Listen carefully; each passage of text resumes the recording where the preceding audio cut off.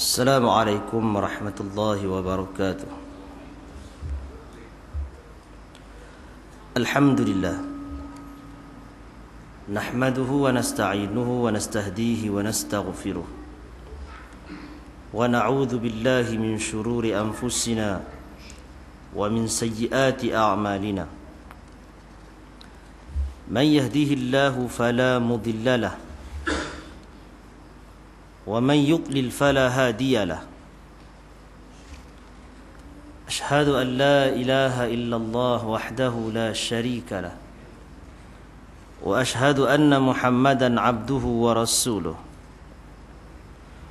اللهم صل على محمد وعلى آله وصحبه أجمعين. أما بعد. Tuan-tuan muslimin muslimat yang dirahmati Allah Subhanahu wa taala.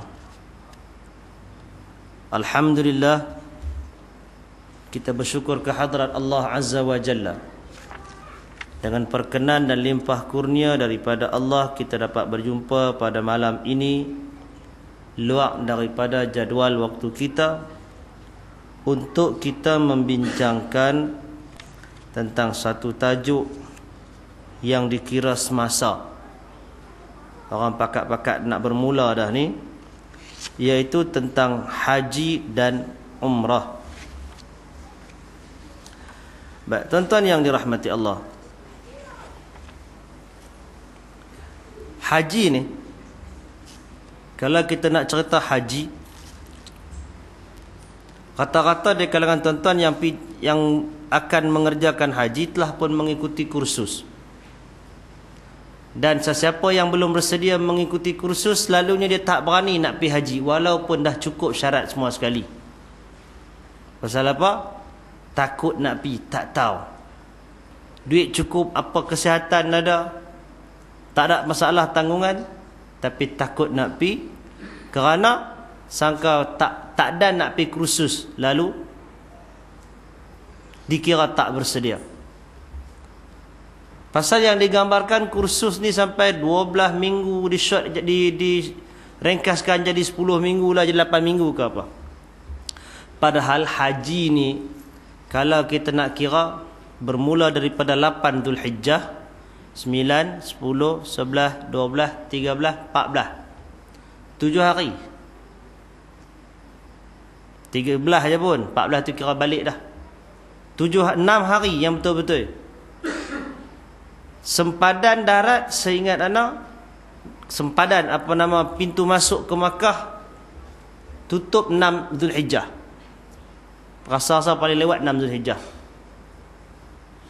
Pasal tu kalau dicadangkan untuk jemaah haji pi 10 hari seminggu boleh sangat. Dari sudut aturan kerja dia. Cuma barangkali masalahnya ialah dari sudut penerbangan dan sebagainya Benda tu sebenarnya memang patut dipikirkan daripada dulu lagi. Pasal bila pergi haji ni tuan-tuan, benda yang kita kena fikirkan ialah kita melaksanakan ibadat ini kerana Allah Ta'ala. Ini yang paling asas. Kalau tuan-tuan balik semula tengok apakah rukun dan syarat haji, tuan-tuan akan jumpa. Antara syarat haji ini, syarat wajib haji ialah orangnya Islam. Balik, berakal, merdeka dan ada kemampuan. Bila dia kata Islam maknanya dia buat haji ini semata-mata kerana Allah Subhanahu wa taala. Bukan ada kerana kepentingan lain. Kalau ada kepentingan-kepentingan duniawi yang boleh diambil daripada haji ini umpamanya rangkaian perniagaan, pemasaran dan sebagainya yang tu kemudian yang tu tak babitkan keikhlasan dalam melakukan haji. Itu yang pertama. Yang keduanya haji ini ialah dengan kita tidak melakukan perkara-perkara yang dilarang dalam ihram dan kita melaksanakan tuntutan-tuntutan khususnya yang rukun. Tu je. Dengan tu amal haji bermula daripada 8 Zulhijjah habisnya 13 Zulhijjah hari tarwiyah. Banyak tu. Apa yang berlaku yang jadi panjang hari haji ni kerana terdapat di sana beberapa tanggapan yang tidak syar'i. Terdapat beberapa tanggapan yang tidak bersandarkan kepada dalil. Apa di antaranya? Kalau pi haji, balik mesti orang panggil Pak Haji. Mesti panggil Tuan Haji. Baru ada angkat sikit standard. Duk beruncik je leceh. Yang tu kena buang tepi. Orang nak panggil, orang panggil. Tapi tang kita jangan duk fikir hal tu. Yang keduanya, bila pergi haji, dengan satu tanggapan, mesti pergi Madinah. Itu juga tanggapan yang salah. Pasal tu jadi panjang. Kalau kita kata pergi tujuh hari, dia fikir macam bila masa nak pergi Madinah. Bila masa nak pergi ziarah makam Nabi. Ini adalah kesalahan dalam tanggapan. Dan ini kadang-kadang diajar. Baik, amalan haji semuanya cuma ada di Mekah, tidak ada di Madinah. Habis itu yang orang duk pergi Madinah buat apa? Yang pergi Madinah ini tuan-tuan kerana menyahut seruan Nabi sallallahu alaihi wasallam, la tushaddur rihal illa ila thalathati masajid. Masjidil Haram wa Masjidil Aqsa wa Masjid hadha. Jangan kamu bersungguh-sungguh untuk melakukan perjalanan melainkan kepada ke arah kepada tiga masjid. Masjidil Haram, Masjidil Aqsa dan masjidku ini. Jadi kalau kita ke Madinah tujuan utamanya ialah untuk salat di Masjid Nabi. Itu tujuan pertamanya. Bukan niatnya apa? Niat nak ziarah Nabi. Niat nak apa? Pasal orang kampung pakat-pakat bagi salam tu bagi sampai sekali, tolong kirim salam kat Nabi. Ha, itu mentaliti yang salah. Tolong kirim salam pada Nabi, tuan-tuan jangan buat. Kalau ada siapa-siapa pesan, buat tak layan. Pasal apa? Nabi sallallahu alaihi wasallam bersabda, "Sallu alayya fa innaha tablughuni haitsu kuntum." Selawatlah kamu ke atasku Sesungguhnya ia Selawat itu sampai kepadaku Di mana saja kamu berada Tak payah fikir nak bagi salam Selawat di sini sampai dah Benda tu kat Nabi Allah Ta'ala jawab dengan 10 kali selawat ha, Tuan-tuan yang dirahmati Allah Pasal nak pergi Madinah Nak pergi yang tu Nak pergi yang ni Lepas tu nak kena bagi cukup 40 waktu lah apa semua Itu semua cerita yang tak ada dalil belakang Baik, kita patah balik mai. Hari kita berada di Malaysia sebelum terbang pergi sana, apa nak buat? Orang kita mula-mula fikir tadi tengah hari, ustaz, jangan lupa no, hari Sabtu lagi mak nak pergi nak pergi Mekah, kita buat kenduri tahlil baca Yasin apa semua. Itu pun bukan agenda haji.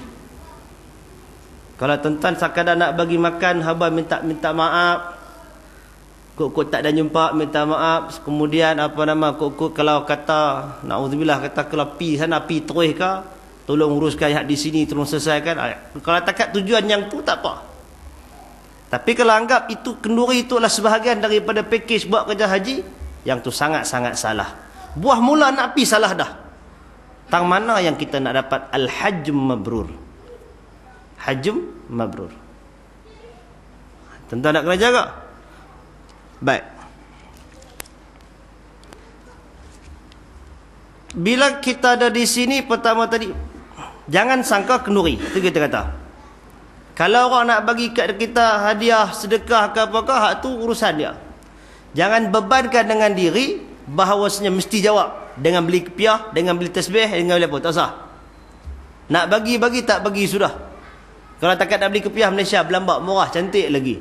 Nak jumpa kedai pun boleh abang. Siapa nak beli minyak atar ke apa ke? Ataupun dia nak beli apa? Beli sejadah. Sejadah Malaysia pun murah. Tak usah ada pikir beban tuan-tuan. Bawa beg banyak-banyak. Satgi bergaduh dengan dengan dia punya custom ke apa di sana. Tak cukup lah. Duit ni memang duit kita. Pi tu kita hambak duit. Tapi jangan hambak benda-benda tak patut. Hak abuan nak beli kepiah Cina. Beli di sana. Sini bagus lagi.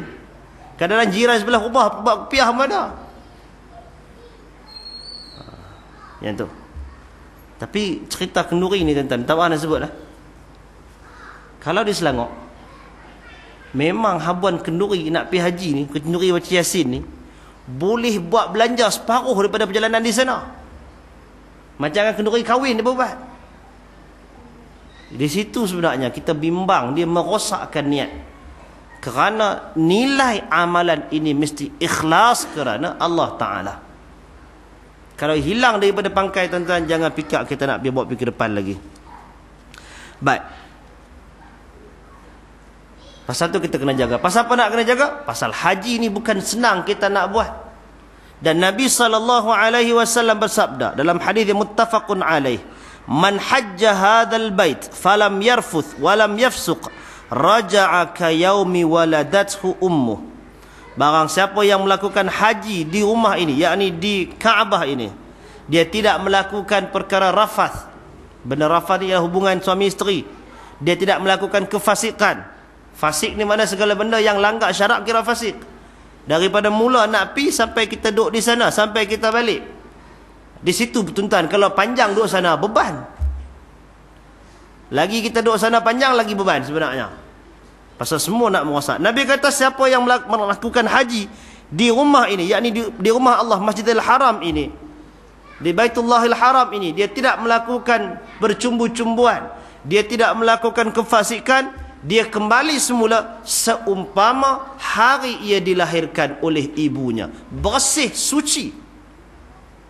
Fadilat ini orang jumpa di mana? fadilat ini dijumpai dalam hadis palsu yang disebarkan tentang semayang tarawih malam pertama. Betul tak? Hak ni cerita tipu. Hak ni yang betul.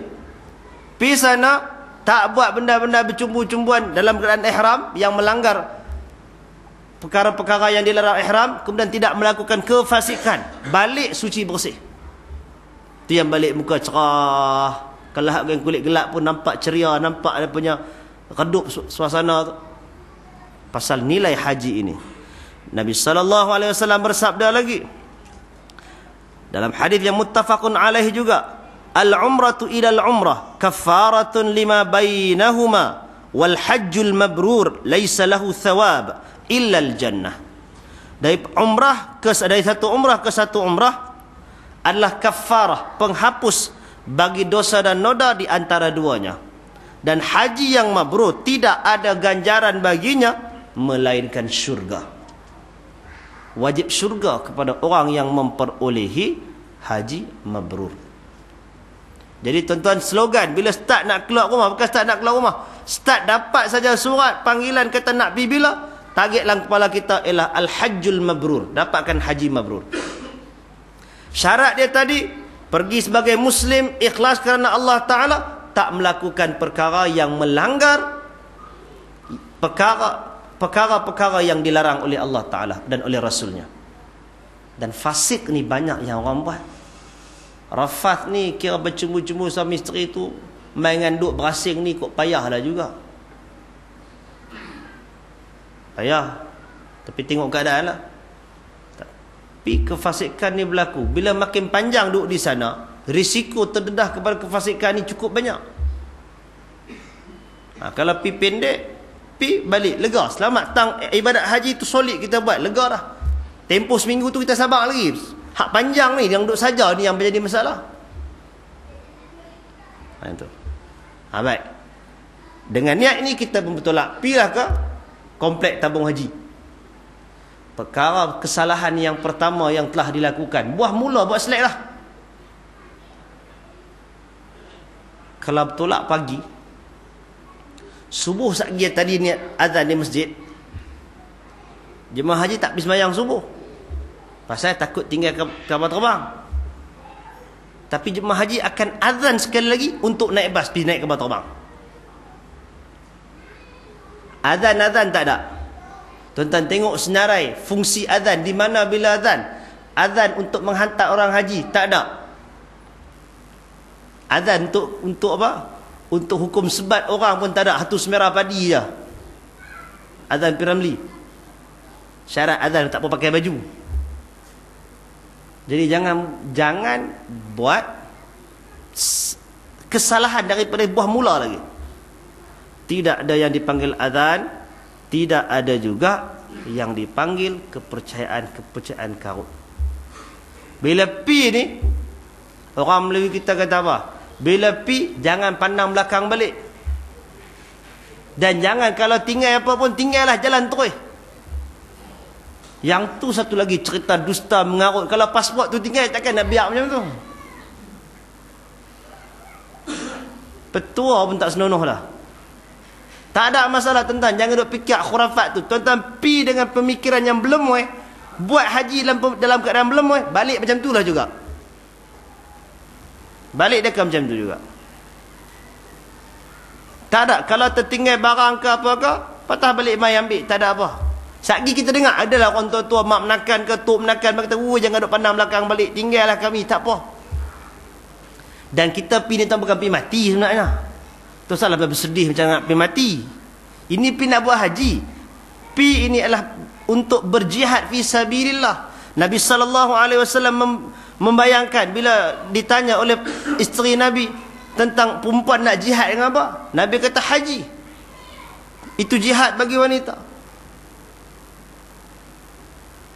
Benda ni benda sebut tak ni? Benda yang duduk dalam kepala belakang ni. Rosak ayang ini. Salah tanggapan di kepala, salahlah perbuatan kita. Tak ada. Jalan.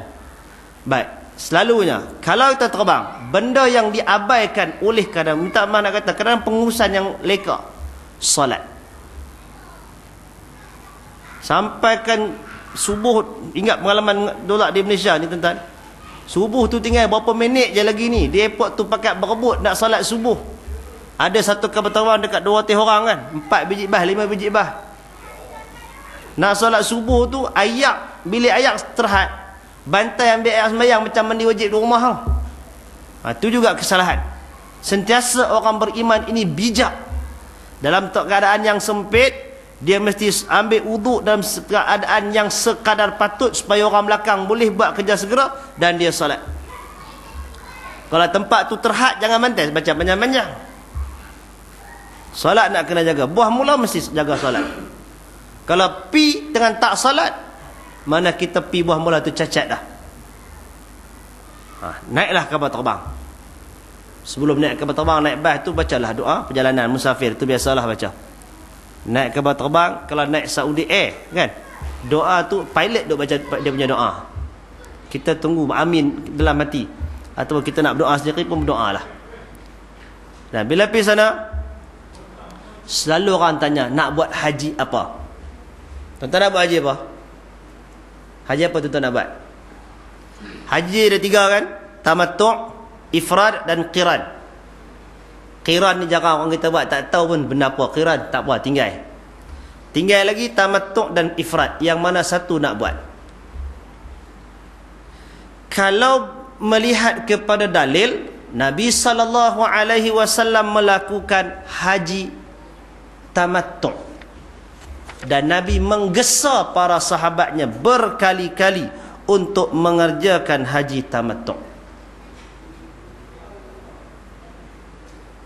tanpa dinafikan beberapa riwayat daripada sahabat antaranya Abdullah bin Umar radhiyallahu anhuma yang menyatakan keafdalan haji ifrad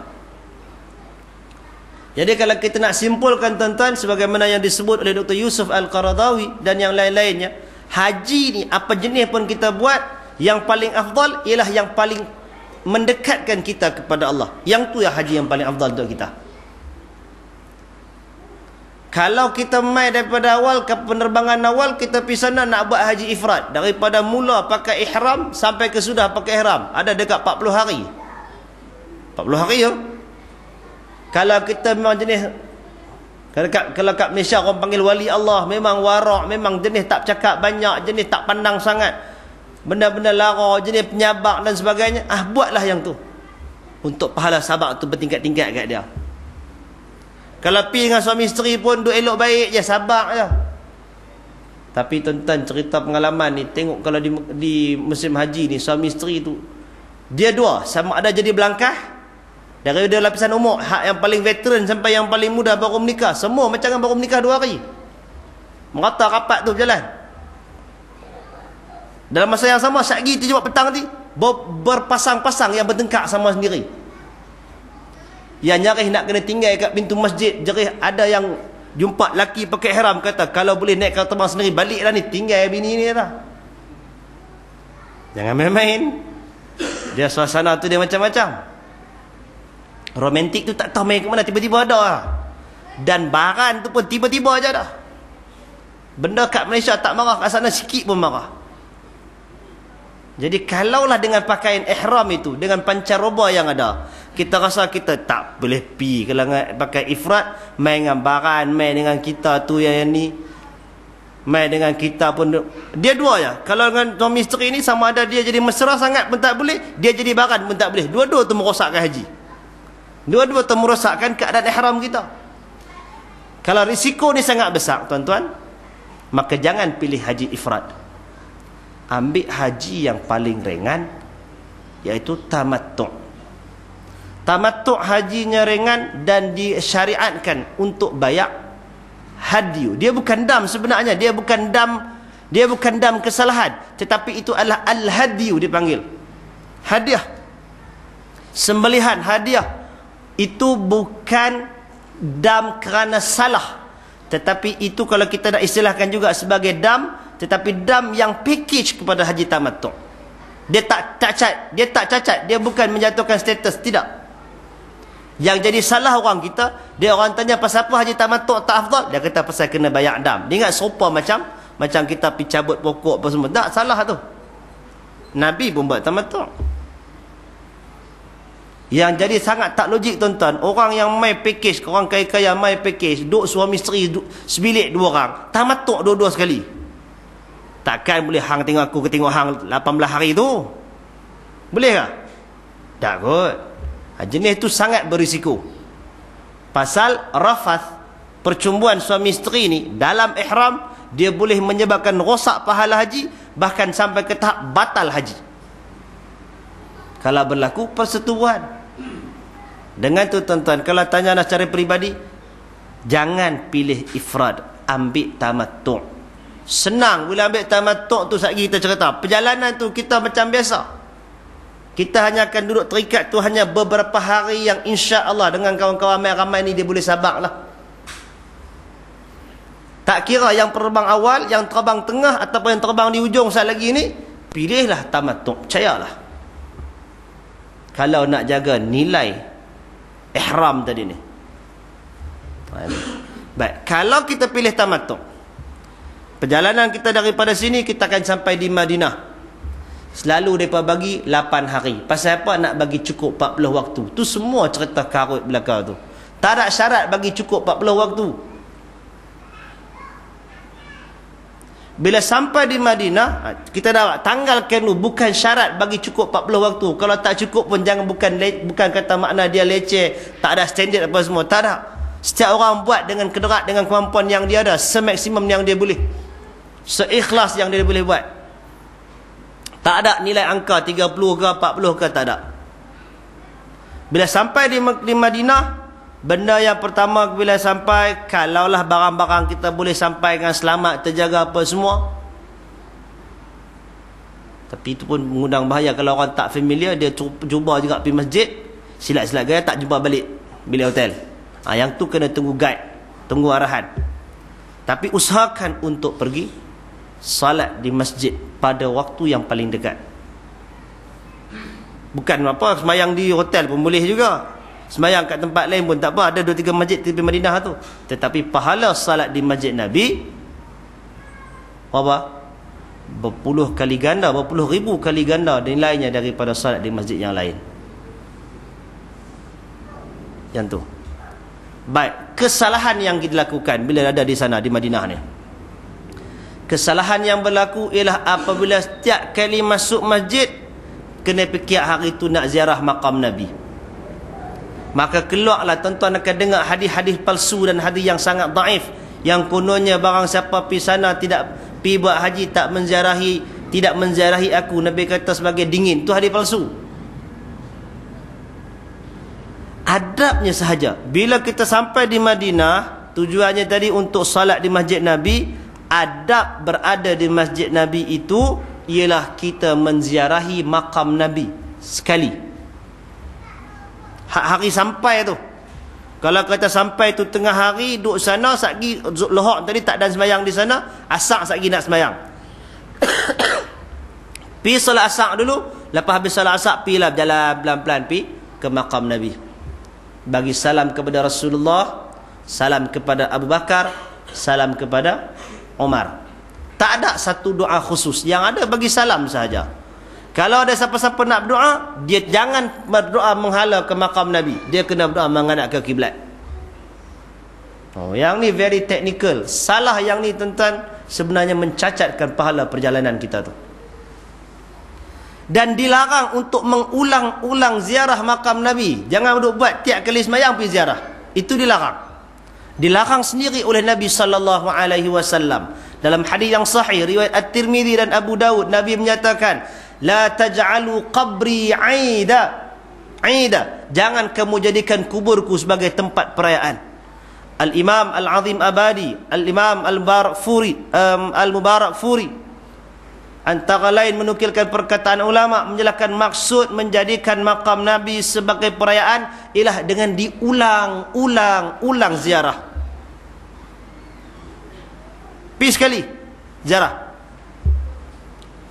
Baik, kesalahan yang berlaku masa ziarah itu ialah bila kita dengan satu i'tiqad nak kena gabui pegang dinding dia apa semua jangan ubat. Habuan kena ketuk dengan dengan tongkat atau dengan sejadah dengan orang yang jaga tu nanti. Jangan buat haji haram haji. Dia buat gitu. Lintah je, lintah bagi salam cukup.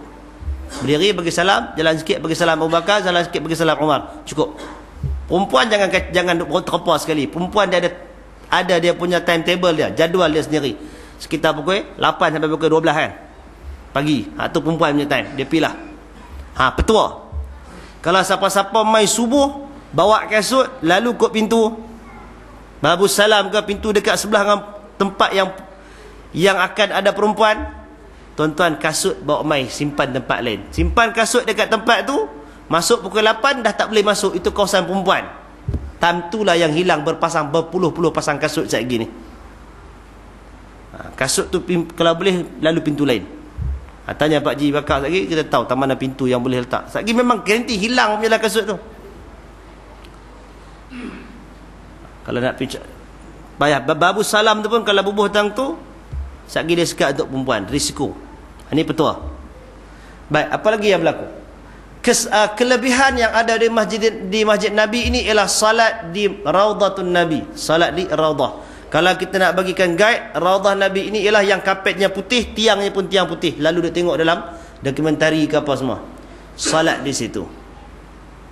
Itu adalah antara tempat yang wallahu alam disebutkan dalam beberapa dalil sebagai mustajab doa. Cumanya tuan-tuan, tempat itu seluruh masjid Nabi itu adalah masjid Nabi. Yang lama dan yang dikembangkan extension tu, itu pun dikira masjid Nabi.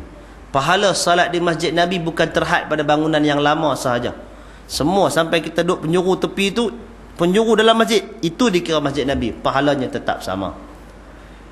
Jadi jangan jadi al jadi pasai untuk ligan pi cari raudhah tadi ni sampai kita terpaksa menang, melanggar beberapa perkara yang dilarang. Orang duk berebut solat di mana? Di mihrab Nabi dia berkata. Tak dan solat tiga empat orang nak ganti belakang ni baru nak duduk depan tindih dah. Depa nak ganti solat pula. Tuan-tuan mana nak khusyuk solat tang tu? Solat ni bukan kira tang tempat tu, dia kira tang nilai khusyuk solat kita tu. Kalau solat tang tu hati pun mencengkam, kita kata ini mana punya Bangla, mana punya Turki, mana punya Arab duk tunggu belakang duk tindih kita pula. Tak dan solat depa main langkah pula. Jangan duk tiru depa. Jadi jangan buat antara kesalahan besar ialah menyangka solat di di mihrab Nabi itu sebagai satu sunnah. Memang Nabi solat itu pasal Nabi jadi imam tang tu. Kita bukan nak jadi imam tang tu. Jadi jangan ambil pasal semayang tang tu sehingga menyebabkan kadang-kadang kita marah, kadang-kadang kita terganggu, kita hilang khusyuk. Haba nak bergaduh pun boleh. Kena avoid. Kena hindarkan benda-benda ni. Dan petua dia kalau nak solat selesai di, di Rawdatun Nabi ni, dia kena lalu menyusur kot tepi. Dekat rak-rak Quran tu. Ha, tang tu dia lapang sikit. Sempadan antara makam Nabi dengan mimbar tu, yang belah dekat dengan makam Nabi tu selalunya celuh. Ambil tempat tu untuk duduk baca Quran. duduk tenang solat sunat kalau pi berasak sampai dekat dengan dengan mihrab dekat dengan mimbar itu semua tempat jam tempat yang penuh orang yang kadang-kadang kita tak tak dapat konsentrasi dalam melakukan amalan yang tu. Baik habis cerita yang tu. Jangan ulang mengulang-ulang ziarah kubur tapi kalau kita dah duduk sembahyang di raudhah tu kita nak keluar memang kita lalu tu kan? Ah, dah lalu kot tu bagi salam lah. Sudahlah itu saja. Kalau kita khas nak pergi ziarah cukuplah sekarang sekali. Itu pun tuan-tuan tak payahlah. Cukuplah dengan kita semayang di raudhah. Kalau kita semayang tempat lain pun waktu nak keluar lalu keluar kot tu sekali. Baik habislah katalah habis 8 hari. Sakit pening demam apa semua ke tak larat pergi semayang di masjid tak mampu di rumah di rumah lah. Kalau mampu berjalan berjalan lah pergi pasal rasanya tenaga kita bila di sana tu dia jadi ekstra lebih. Demam ke pening ke sanggup jalan tu kalau pun jauh. Tu kelebihan dah baik habis yang tu tibalah masa hari kita nak bertolak. Tuan-tuan kena ingat bila kita ada di sana kita bukan bermastautin bukan bermukim di situ. Kita musafir kalau diikutkan peruntukan musafirnya tuan-tuan hari kita nak bertolak keluar tu kita dah boleh jamak dan qasar balik. Dengan itu kalaulah menggang kalaulah kita nak maknanya ada panduan perjalanan kita ni kena masa-masa sekian jangan terlambat. Kita rasa nak tolak tu dekat-dekat nak asak. Kalau kita pergi semayang lohok sekali tu pergi semayang asak nak balik mai tak dan dengan bah kita jamakkan siap-siap jamak jamak takdim zuhur dengan asak kalau nak semayang sekali dengan imam semayang sekali dengan imam. Zuhur semayang tamam 4 rakaat. Asak saat lagi ni kita jamak takdim buat 2 rakaat kasar pasal apa? pasal kita nak tolak pergi Mekah dah. Kalau kita semayang asak waktu ikut waktu ni juga dibimbangi tak sempat nak ligambar barang tak kemas ke apa semua ke buat yang tu. Tapi ada juga petua daripada depa yang tugas Tuan Haji kata janganlah sembahyang jamak kata. Sembahyanglah di di hotel kita. Sembahyang ikut waktu sembahyang di hotel kalau belajar matematik pandai pun tak cakap macam tu. Sembahyang yang beratus kali ganda fadilatnya di masjid Nabi dengan sembahyang di bilik hotel. Baik sembahyang di masjid jamak zuhur kita buat empat ikut imam tak apa asar kita buat dua rakaat. Balik mai masa orang waktu asar kita dah siap kemah barang tunggu nak naik bah berbanding dengan tonton sembahyang zuhur di di di, di hotel mai pun di hotel. Ini semua benda-benda pertimbangan. Kena timbang ada kata tak boleh jamak ada pasal ada pengalaman kawan-kawan dia kata ada ustaz ada ustazah dia kata ustazah kata makcik tak afdal lah sembahyang apa ni haji makcik pasal makcik jamak dalam sembahyang tu semua ajaran karut belakang Baik. Dah habis yang tu, daripada Madinah bertolaklah ke tempat yang dipanggil Dhul Hulaifah. Dhul Hulaifah ataupun nama modelnya ialah Abyar Ali ataupun Bir Ali. Nama lah hadis Dhul Hulaifah. Tak kira pakai pilih nama pun, tempat itulah juga pun. Nak macam mana nak pakai ihram ni? Di mana nak pakai ihram? Ihram boleh pakai bermula di rumah ihram boleh pakai bermula di rumah kita di hotel kita tu pakai siap-siap dah tapi janganlah niat nak ihram terus tuan tu jangan niat kita pi di sana kalau kita pakai ihram tu siap di hotel negeri Madinah maka dimustahabkan untuk dia mandi untuk ihram. Sekalipun wanita yang haid mandi kerana nak ihram. Kalau dia kira nak mandi dekat bir Ali tu tandai punya besar punya banyak boleh tang tu. Pakai baju kita elok biasa sampai di sana tukar apa semua dalam tandai tu kita mandi dulu. Lepas tu pakai ihram di sana kalau tak ada beli ke ihram di sini di sana berlambak ke ihram murah lagi apa tak ada masalah kemudian bila kita dah pakai ihram dah tu untuk cerita ihram ni setiap orang yang buat haji berihram berihram. Maksud berihram ialah diharamkan dia melakukan perkara-perkara yang dituntut yang di, ditetapkan oleh syarak. Itu panggil ihram. Orang lelaki yang ber, yang berihram dipanggil muhrim. Perempuan yang berihram dipanggil muhrimah. Ha, itu orang dulu panggil sumbang muhrim. Sumbang muhrim salah. Dia sumbang mahram. Muhrim ni hak pakai ihram tu. Yang berihram. Cuma beza ihram hal lelaki dan perempuan ialah Perempuan ihramnya ialah dengan dia memakai pakaian biasa dia. Tak ada pertukaran apa. Kalau duk pakai baju kurung tu, baju kurung tu lah. Tak ada siapa pakai baju kebaya kan, baju kurung kan. Ataupun pakai jubah, jubah tu lah dia pakai. Tidak disyaratkan mesti telekung, mesti warna putih. Tak ada syarat. Jangan buat khurafat tentang tu. Kesalahan yang berlaku bila ada tanggapan mesti pakai warna putih. Tu yang pakai berduyun-duyun pakai yang putih. Dan kadang-kadang tu jenis tak apa mampu. Kain putih tu pun jarang. Apa jadi tuan-tuan? Dah lah pakai putih jarang. Orang lain pakai cuci mata. Bukan cuci mata. Merosakkan amalan orang lain. Itu kesalahan. Pakai baju biasa. Kok pakai kat Malaysia ada busana apa. Pakai baju baju jubah yang cantik-cantik. Pakai pihak tu ya. Yang dilarang bagi perempuan ialah an-niqab tutup muka dan al-qafazain memakai sarung tangan. Kalau pakai yang hang glove memang takat pergelangan, hak tu kekalkan, pakai yang tu. Yang tak boleh ni, yang tutup pergelangan dan yang tutup muka. Yang tu sahaja. Yang lain pakaian dia sama, tak timbul cerita zaman dulu-dulu ke perempuan pakai kain batik, pakai apa nama tali pinggang besi, yang mengajak kata tali pegang besi tu boleh cangkuk tapi tak boleh masuk perabih. Ha, tu semua cerita mengarut belakang tu. Tersadut percaya. Pakai macam biasa. Kalau nak pakai putih juga, haba nak ada tanda Malaysia tu kan. Pakailah tapi bagilah kain yang standard elok sikit tuan-tuan. Ini kena pakai putih. Lepas tu kalau tak pakai putih tu rasa macam tak salah aja. Tak ada. Perempuan tak ada syarat. Putih tu afdal tapi lelaki. Bukan cerita perempuan. Perempuan pakai pakaian biasa dia.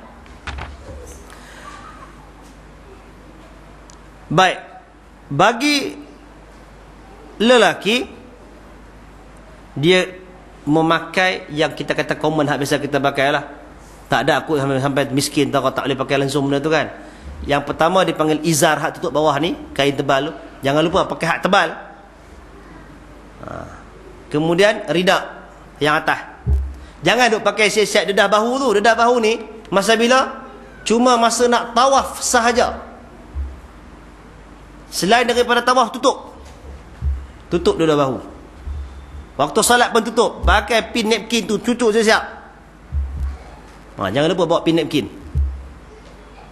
Tak besar tu kan? Ha, cucuk yang tu.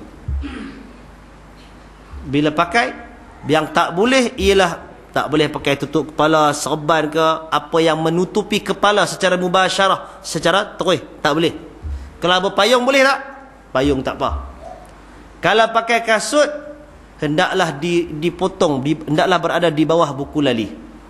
Ini berdasarkan kepada riwayat Nabi sallallahu riwayat hadis Nabi sallallahu alaihi wasallam. Apabila ada seorang sahabat yang datang dan dia tidak ada pakai yang lain melainkan kasut dia tu Nabi arahkan untuk dikerat sehingga ke bawah buku lali. Dia tak ada kasut dia ada khuf. Dia boleh pakai khuf tapi dia kena potong-potong bawah buku lali. Yang kita tak ada masalah yang ni pakai selipar kalau selipar tu ada tali ke tak ada tali pakai tak ada masalah apa jangan tutup buku lali dan tumit jalan jangan macam biasa Ah selipar tu banyak jenis benda teknikal jangan cari pasal cari selipar-selipar yang boleh ke tak boleh. Jangan pilih yang boleh ke tak boleh. Ambil yang tentu memang boleh. Selipar Jepun pun tak apa. Sebenarnya tak payah pakai selipar mahal. Di Malaysia ni tentang beli selipar Jepun hak RM5 tu pakai tu lah pindah kapal terbang turun balik. Hilang pun tak rasa kecil hati. Ini beli sebagai RM30. Lepas tu hilang pula. Duk, duk marah hati tu. Duk mencengkam. Bila nak khusyuk ibadat? Ha. Baik, lagi apa? Bagi orang yang dia boleh pakai ihram sebelum miqat ataupun dia pakai ihram di miqat. Dia yang ni boleh belaka. Kalau orang tu mai daripada Malaysia penerbangan akhir, dia akan miqat di Yalamlam kan. Dan uh, pilot akan bagi tahu dan dia niat di situ. Dia pakai di Malaysia lagi, dia naik kapal terbang, sagi niatnya di sana. Niatnya di sana. Baik.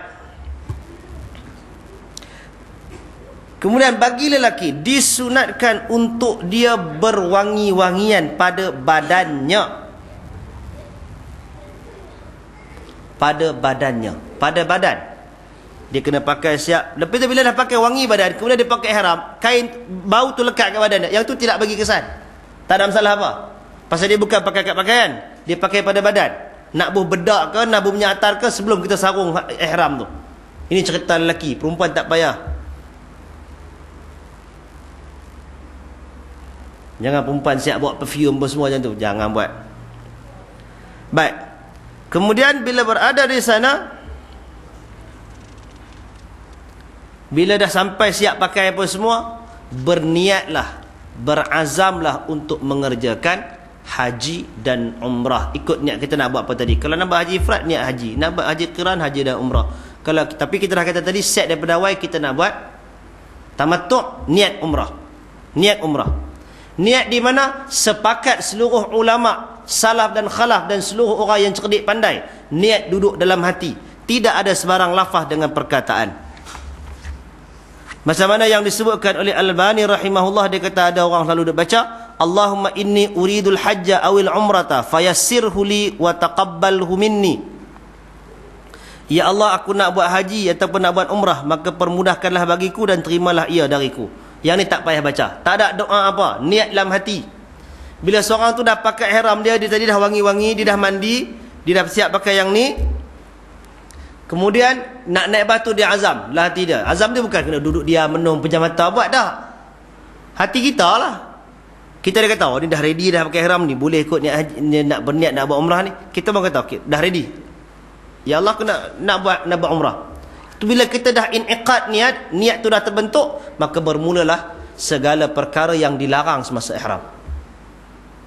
Bermula. Tapi kena ingat, ada satu keadaan lagi yang disebut oleh para ulama. Sekiranya seseorang itu sampai dalam dah dia pakai ihram dia siap apa semua, Hati dia belum berniat lagi tapi dia telah pun bertalbiah. Mentara daripada dia dia bertalbiah labbaik Allahumma labbaik untuk lab, talbiah ni untuk umrah ataupun haji. Bila dia talbiah maka terus automatik dia dikira sudah berniat. Pasal orang yang talbiah ni memang nak buat haji lah. Pada musim haji, duduk di tanah haram, duduk sini perjalanan nak pergi Mekah, dia talbiah. Itu memang niat nak pergi haji. Jadi, Sebaik-baiknya ialah bila kita dah siap mandi, siap wangi, siap dah pakai, kita azam dalam hati kita, kita berniat nak buat umrah, pasal nak buat tamattu', lepas itu kita pun talbiah. Nabi sallallahu alaihi wasallam dalam hadis yang sahih menceritakan menyebut tentang afdalul haji al-ajj was-sajj. Hadis yang hasan Sebaik-baik haji ialah al-ajju. Al-ajju ni maknanya yang banyak mengangkat suara untuk bertalbiah. Wasajju iaitu orang yang menyembelih korban, menyembelih binatang. Jadi tuan-tuan bila kita pakai, kita niat kita terus bertalbiah sebanyak-banyak yang kita mampu. Tak payahlah sampai menjerit-jerit tapi kita bertalbiah. Labbaik Allahumma labbaik labbaik la syarika laka labbaik innal hamda wan ni'mata laka wal mulk la syarika laka Ha, jangan tertukar pula, jangan sebalik. Baca tu dulu. Kalau tak apa, baca dulu. Lama-lama buat. Sepanjang-panjang perjalanan tu. Kita letih, kita berehat. Orang lain buat. Dan talbiah ini juga disunatkan juga untuk perempuan. Kerana thabit dalam hadis yang sahih para sahabat mendengar suara Aisyah radhiyallahu anha ketika ia bertalbiah. Dan terbaik juga terdengar apa nama terdapat juga antara talbiah Nabi ialah labbaika ilahal haqq khairu biyadaik wal rughaba'u ilaika wal amal. Dan tuan-tuan cerita talbiah dengan mengangkat suara kuat ini Nabi sallallahu alaihi wasallam sebut dalam hadis yang diriwayatkan oleh ashabus sunan Nabi kata atani Jibril fa amarani an amura ashabi wa man ma'i ay yarfa'u aswatahum bit talbiyah. Jibril datang kepadaku Lalu ia mengarahkan aku untuk menyuruh sahabat-sahabatku dan orang-orang yang bersama denganku supaya mereka mengangkat suara mereka dengan talbiah. Jadi talbiah ni orang kata apa jerit. Tak, memang diarahkan kita mengangkat suara untuk talbiah. Baik. Habis cerita talbiah naiklah bah jalan. Tentu naik jalan mana? Lalu tariqul hijrah, highway, lurus seluruh-luruhnya tak ada tol. Seluruh-luruhnya Driver tu tak dia buat lembab, slow tu tahu lah tu nak duit ekstra lah tu. Pakatlah kutip seorang. Janganlah bagi banyak-banyak. Lemak depa tu. Kalau sabar tak mau bagi duit tu sudah bagi duit. Dekat dalam bas tu tulis jangan bagi duit pada depa ni. Tapi orang Malaysia ni memang suka menggalakkan benda yang rosak. Bagi galakan lagi. Pasal orang Malaysia pemurah tu yang dia minta tu. Jemaah lain tak ada bagi lah. Tapi kalau rasa-rasa tak sabar nak bagi cepat kat sampai, ha, collect lah duit seorang sikit. Janganlah bagi melampau-lampau. Bagi ada seorang wakil tolong bagi. Dia akan jalan cepat. Tidak dia buat slow ya. Perangai macam tu Arab ni. Kalau bukan Arab pun Turki. Ha, benda ni semua cabaran nak bagi kita sabar. Nak bagi, bagi. Taklah tak mau bagi, rasa-rasa tak balik, jangan duk bagi. Mulut jaga, jangan jangan jelabah. Jangan duk maki ke apakah. Sabar. Kalau dia buat benda berhenti kata rosak ke apa ke, ambil nama, ambil nombor dia, ambil nama dia, ambil nama bah. Pi buat rawat peran. Habak kata gempak macam tu. Kalau nak buat kehak lah. Kalau rasa kita. Yang tu pun hak kita. Orang kata, uh, jangan bergaduh, tak berkat kita, tak haji mabrur kita. Tak. Mana yang hak kita, kita bertahan. Boleh. Kalau cuma kalau rasa kenyah, malas nak cakap banyak, ah, bagilah. Tapi kalau kita bagi, menyuburkan kejahatan, yang tu masalah maka di sini kena ada kesepakatan duk alibah. Toke dia mau ada. Kena apa nama? Tekong dia mau mau uruskan benda ni. Dan perjalanan tuan-tuan tu tuan-tuan kena nikmati perjalanan tariqul hijrah. Itulah perjalanan Rasulullah daripada Mekah ke Madinah. Perjalanan itulah lorong yang Nabi lalu tu bernama dengan Abdullah bin Qir tu dengan Abu Bakar itulah yang kemudian dia buat jalan raya untuk pergi ke Mekah. Sebelum tu jalan lain dia buat bila ada perasaan ni, ada pengetahuan ni, kita rasa, oh inilah sehebat inilah perjalanan Rasulullah. Cuma kita naik bah, dia jalan kaki. Baginda alaihi wasallam jalan kaki, naik naik naik kenderaan, naik kuda. Kena ligan lagi dengan Suraqah bin Malik. Naik mati perjalanan tu. Sampai di Mekah ah, Jangan buat perak pula Tengok tu dia Sekali orang kata Tuan-tuan di antara keajaiban yang ada Mekah ke Madinah? Mekah saja ada benda ni. Tuan-tuan tengok Dia celah-celah batu pun keluar ayak dia kata. Jangan dia buat perak. Ayak tu ayak dia buat kemudian Bukan celah batu tu keluar ayak tu. Ada ada Package mana buat kelentong jemaah haji? Tu dia keajaiban kota Mekah dia kata. Ayak punya banyak tu. Turun kot celah bukit. Keluar tu. Jangan mengarut. Hak tu benda Mereka buat pipe belakang tu Mereka buat bagi cantik. Cuma besar. Ha. Sampai kita di Mekah bila sampai di Mekah dan tuan pergilah urusan bah dia apa semua dia tengok senarai nama apa semua tu. Kalau nasib tuan-tuan baik hak mengiring yang menguruskan tuan-tuan tu orang cerdik, dia pun uruskan cepat. Dia bagi uh, penerangan sikit ini masjid Nabi apa semua tempat bagus. Kena jenis hak yang kawan yang mengurus pun tak kerti apa, tuan-tuan melengung tak tahu nak buat apa. Azan-azan dah subuh tadi, subuh sebenarnya cerah dah, tak semayang lagi pasal tak dibenarkan turun. Pasal apa tak boleh turun? Tak habak pasal apa. Itu nasib dah tu. Bukan kira yang 20 tahun, 25 tahun menguruskan haji pun ada jenis pekerja tak kerti.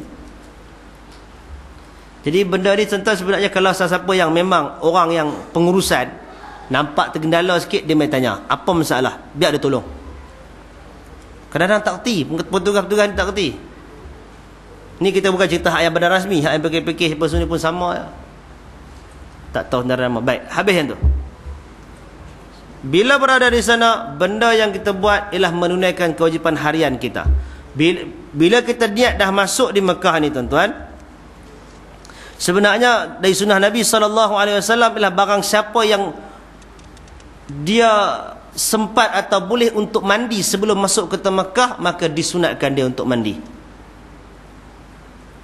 Dan disunatkan untuk masuk pada waktu siang, bukan waktu malam. Tapi itu bukan kerja kita. Perjalanan kita semua dah diaturkan. Kalau kita sendiri tokek, kita boleh hantar untuk masuk siang. Dan kemudian bila kita berada di sana, kita dah siap kita nak pertama nak pertama nak buat apa? Jangan bantai lena pula.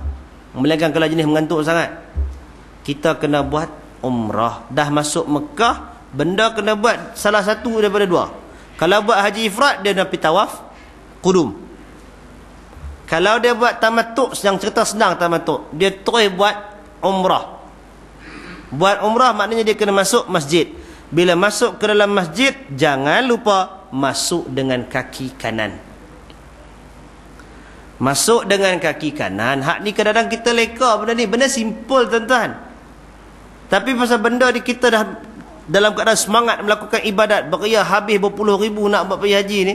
Masuk kaki kanan berdoa jangan lupa Allahumma salli ala Muhammad wa sallam Allahumma aftah li abwaaba rahmatik doa masuk masjid Masuk kot pintu mana? Dia kata masuk kot pintu babu masuk kot babu salam. Cari babu salam pun tak jumpa. Masuk pi kot pintu mana? Cuma jangan dia buat pandai. Masuk tu ada pintu ni dia ada nombor. Masuk kot nombor tu, letak kasut kot celah-celah mana yang kena nombor tu, balik kot nombor tu. Jangan buat pandai. Tengok tak apa cam, tengok bentuk kita cam. Jangan buat pandai. Kita klik tu semua sama belakang saya gini. Semua jadi macam serupa. Jadi dia pintu tu ada nombor, dia ada nama. Kalau tak boleh baca nama, cap tang nombor. Tang tu masuk, tang tu keluar. Jangan sesat-sesat lagi suami tunggu tang tu, isteri tunggu tang tu. Itu yang balik bebai. Memang garanti balik bebai, tunggu bagian narak. Ha, kasut letak. Ini semua benda teknikal. Dan bila sampai di sana tuan-tuan, benda yang patut kita buat ialah tawaf. Umrah tawaf. Dan sunnah Nabi SAW ialah bila tawaf ialah ini yang sunnah. Ini kita kena cerita secara asad nas, kemudian kita nak cerita dari sudut, dari sudut realiti. Kalau lapang, biasanya siapa yang sampai Mekah awal, lapang-lapang lagi. Hari pertama lapang, hari kedua dah sendat dah. Kalau boleh rapat sampai ke Hajarul Aswad, dia sampai ke Hajarul Aswad dan dia cium Hajarul Aswad. Kemudian dia bertakbir. Dia baca bismillah, dia cium hajar aswad dan dia bertakbir Allah Akbar jangan takbir macam penceramah tu pula ingat nanti orang terkejut pula kan ha. sebelum dia mula tawaf tu ha, kemudian dia sentuh ha, istilah hajar aswad ni kena orang keliru dia cium satu kucuk masukkan kepala dalam tu kucuk jangan duk pergi gabui ke apa pergi ambil kain ke apa pergi tenyih tentu jangan buat cium dia kemudian satu lagi yang dipanggil lah istilam. Istilam maknanya sentuh dengan tapak tangan pada batu tu. Sentuh sahaja. Sapu macam tu. Yang ketiga, kalau tak mampu buat macam itu, hendaklah dia mengisyaratkan dengan tangan. Ha, kalau istilam, dia istilam, dia cium tapak tangan. Islam, cium. Kalau dia isyarat dengan tangan, tak ada buat apa. Angkat je tangan, cukup. Kita kadang belajar berminggu-minggu lepas kita istilam tu angkat tangan kecup. Hak tu yang jadi salah tu. Tiga ada ada tiga tu. Pertama kucup, yang kedua istilam iaitu gabuhkan ajar aswad tu dan kucup tangan. Yang ketiga isyarat dengan tangan saja. Lambai tanpa ada kucup. Tak payah lambai. Hak ni lambai Commonwealth. Sukan. Angkat tangan lambai isyarat begitu saja. Dan tidak dicium. dia masuk mula kemudian dia mula tawaf. Tak payahlah dulu ada lain lah tak ada lain kan. Agak-agak setentang dengan tu kita pun niat untuk tawaf. Jangan berhenti lama. Orang yang berhenti lama dia apa dia mula nak niat. Nawaitu tawaf ke usalli tawaf ke benda tak ingat. Ha. yang tu semua kerja-kerja mengarut. Duduklah hati kita kata apa? Ini nak buat tawaf umrah tawaf memang tujuh, tujuh round tak ada tawaf tujuh puluh round tak ada Dah tentu dah bila kita niat nak tawaf kita otomatik dalam kepala. Tawaf memang tujuh round. Pasal apa? Pasal tokong ke? Tak. Kerana Allah Ta'ala. Jalanlah. Dan disunatkan pada setiap kali pusingan untuk berhenti cium hajar aswad. Kalau tak boleh kita istilam dan kucup. Dan kalau tak boleh isyarat dengan tangan. Secara realistiknya memang tak ada kita pilih kucup tentu. Yang sunat sebenarnya dengan hajar aswad kucup ni masa tawaf tu je. Luak habis tawaf tak ada sunat apa. Cuma sentimental value habak nak cerita habak kat kawan-kawan. Biasa cium dah sekali. Hak tu je lah pun. Jadi tak payah nak pergi berebut-berebut. Siku kawan tu pergi, pergi siku, pergi bagi karate. Orang Melayu sampai siap bersilat depan Kaabah tu nak pergi cek azal suat tu. Hak ni tengok depan mata ni. Turut tolak-tolak dia geram dia buka silap. Angkat buka kuda-kuda siap. Macam kan apa? Apa nama pendekar berjalan lapuk punya ni. Kena ingat dalam kepala. Sunatnya cuma ketika tawaf sahaja. Lain daripada tawaf tak ada. Tak ada isyarat, tak ada istilam cium tangan ke, tak ada juga kucup ajar aswad. Kalau nak buat kita kata apa? Kadar sentimental value dah main jauh-jauh ni takkan tak rasa kecium sekali. Cium pilah. Itu pun tunggulah masa beratok. Jangan berebut. Hanya nak buat benda yang tak sunat pun kita hilang pahala tang tu. Buat rugi lah. Mau tidak tuan-tuan pergi berasak dulu, pergi tolak kawan tu, pergi tolak kawan ni, tambah ada sindiket lah. Sindiket ni main, indonnya. Dia main offer. Pak mau pergi buat, mau kucak ajar aswad. Lingkung lima enam orang, berapa? Dua ratus rial. Jangan terpengaruh yang tu. Sagi dia tolong siku dia, kita jadi escort. Rasa macam raja. Dia escort, pergi siku-siku, kita boleh cium. Kita keluar dua ratus, kawan tu buat dosa, kita pun dosa sama. Dapat fasik tadi. Bila fasik, tak ada haji mabrur. Jaga baik. Dia ada time yang tenang tu orang beratok. Kadang-kadang dia bagi can. Perempuan pun beratok. Kalau tidak, tak ada. Tak apa. Tak ada jadi satu cacat tuan-tuan. Pergi haji. Berapa kali cium macam sebab? Tak ada cium langsung. Orang memuncung mulut. Tak ada. Hak muncung mulut tu tak reti. Tanda dia reti. Pasal apa tak cium? Hmm, nampak sesak sangat. Tak mau buat dosa. Ha, yang tu tanda fakih. Tanda dia faham amalan dia tu. Jadi jangan pergi cita-cita nak pergi cium majlis aswad. Hanya kalau sempat buat, buat. Bahkan kalau tuan-tuan duduk round tawaf tu, tiap kali angkat sampai kat tangan tu, angkat tangan. Tu sudah memadai. Baik, selain daripada hajar hajar aswad ni tuan-tuan, kalau nak cerita Nabi wasallam sebut cerita dia tentang Umar. Nabi pesan kepada Umar ya Umar innaka rajulun qawi fala tu'dhi dhaif Umar kamu ni adalah orang yang kuat. Jangan sakiti orang yang lemah. Idza aradta stil idza wa idza aradta stilam al hajar fa in khala laka fastalimhu wa illa fastaqbilhu wa kabbir. Umar kamu orang yang kuat jangan jangan sakiti orang yang lemah. Kalau kamu mau istilam kalau kamu istilamlah hajar tu. Kalau istilam ni dia tak payah main rapat ke depan, dia pejam mata ke ujung uluk tangan pun tak apa dah. Kalau dia fikir depan takut menyusahkan orang lain. Kalau kamu tak boleh fa in khalalaka. Kalau lapang bagi kamu kamu istilamlah Nabi kata. Kalau tidak cukuplah kamu istiqbal dia, kamu lambai kat dia dan kamu bertakbir Allahu akbar. Cukup. Angkat tangan Allahu akbar. Jalan. Kita tak buat dosa apa dan kelebihan kelebihan istilam al-hajar ini. Kalau dapat sentuh hajar aswad tu kelebihan dia ada sebenarnya. Tapi kelebihan itu dibanding dengan dosa yang kita nak elak lebih penting mengelak dosa. Yang tu pertimbangan. Kalau dapat jangan lupa, jangan lupa. Masul hajarul aswad masul hajaril aswad war ruknil yamani yahuttanil khataya hattan menyentuh menyemegang hajar aswad dan rukun yamani menghapuskan dosa-dosa satu demi satu. Menggugurkan dosa. Jadi dua tempat dalam di Kaabah tu dua tempat yang boleh pegang. Rukun yang mana ni Hajar Aswad. Hajar Aswad kat belah ni ada pintu. Rukun yang mana ni belah mana? Depan tu kan? Ha, rukun yang mana ni. Itu dua tempat. Nampak rukun yang mana tu dia buat warna ada lain sikit? Kalau boleh kalau tak boleh tuan-tuan pergi ikut jauh pergi ikut jauh lah. Baik bila kita tawaf di sana, ini cerita zaman lapang. Tujuh pusingan. Nak baca apa ketika tawaf? Tidak ada satu bacaan yang khusus untuk tawaf.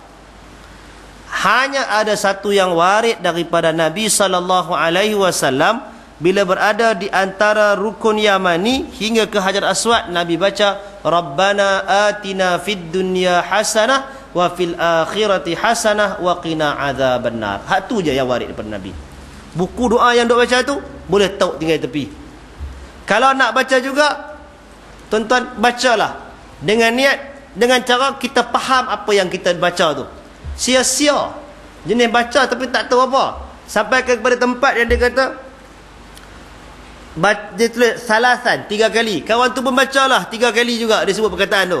Padahal maknanya dia kata suruh sebut perkataan ini tiga kali. Ma, adalah kita katakan sikit rasional kalau orang tertentukan apa dia nak buat. Pasal dia bimbang takut lupa berapa round dah dia pusing berapa pusingan dah. Pasal tu pusingan pertama baca doa ni pusingan kedua baca doa ni.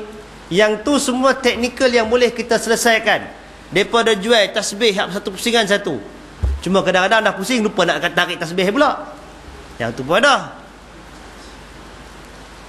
kalau pasal tu tuan-tuan usahlah bagi ingat kadang-kadang pakai hak yang jenis tasbih yang jenis ada ada digit dia kan yang tu pun tak apa pakai tasbih yang kecil memang dia, dia pusing tujuh ya Yang tu pun tak apa. Nak bagi ingat ataupun kita boleh fikir round pertama tawaf yang pertama ni, tawaf umrah ni, round pertama istighfar dulu. Tahun kedua selawat. Round yang ketiga subhana apa nama tasbih. Round yang keempat tasbih uh, tahmid. Round yang kelima takbir. Round yang keenam nak doa. Round yang ketujuh lagi nak buat apa? Tu pulang lah. Mai pula kita tawaf sunat bila-bila, kita tukar pula aturan tu. Tak ada. Yang penting tidak ditetapkan satu pusingan nak baca apa. Bila sampai uh, rukun yang mani, hendak ke hajar aswad, Rabbana atina fid dunia hasanah. Yang tu. Baik, habis tawaf umrah. Kalaulah ketika tawaf tadi ni kita lupa berapa bilangan yang ada. Kaedah dia sama macam kaedah orang yang syak pada bilangan rakaat salat. Dia kena ambil hak mana yang dia yakin. Yakinnya apa? Belum buat. Kalau dia kata tiga ke empat, tiga ke empat, dia kira tiga. Tapi jangan saja bagi lebih. Oh nak rah ni bagi lapan, kut-kut tiga. Jangan. Kalau tuan-tuan saja bagi lebih, yang tu termasuk di dalam Man amila amalan laisa alaihi amruna fahuwa rad.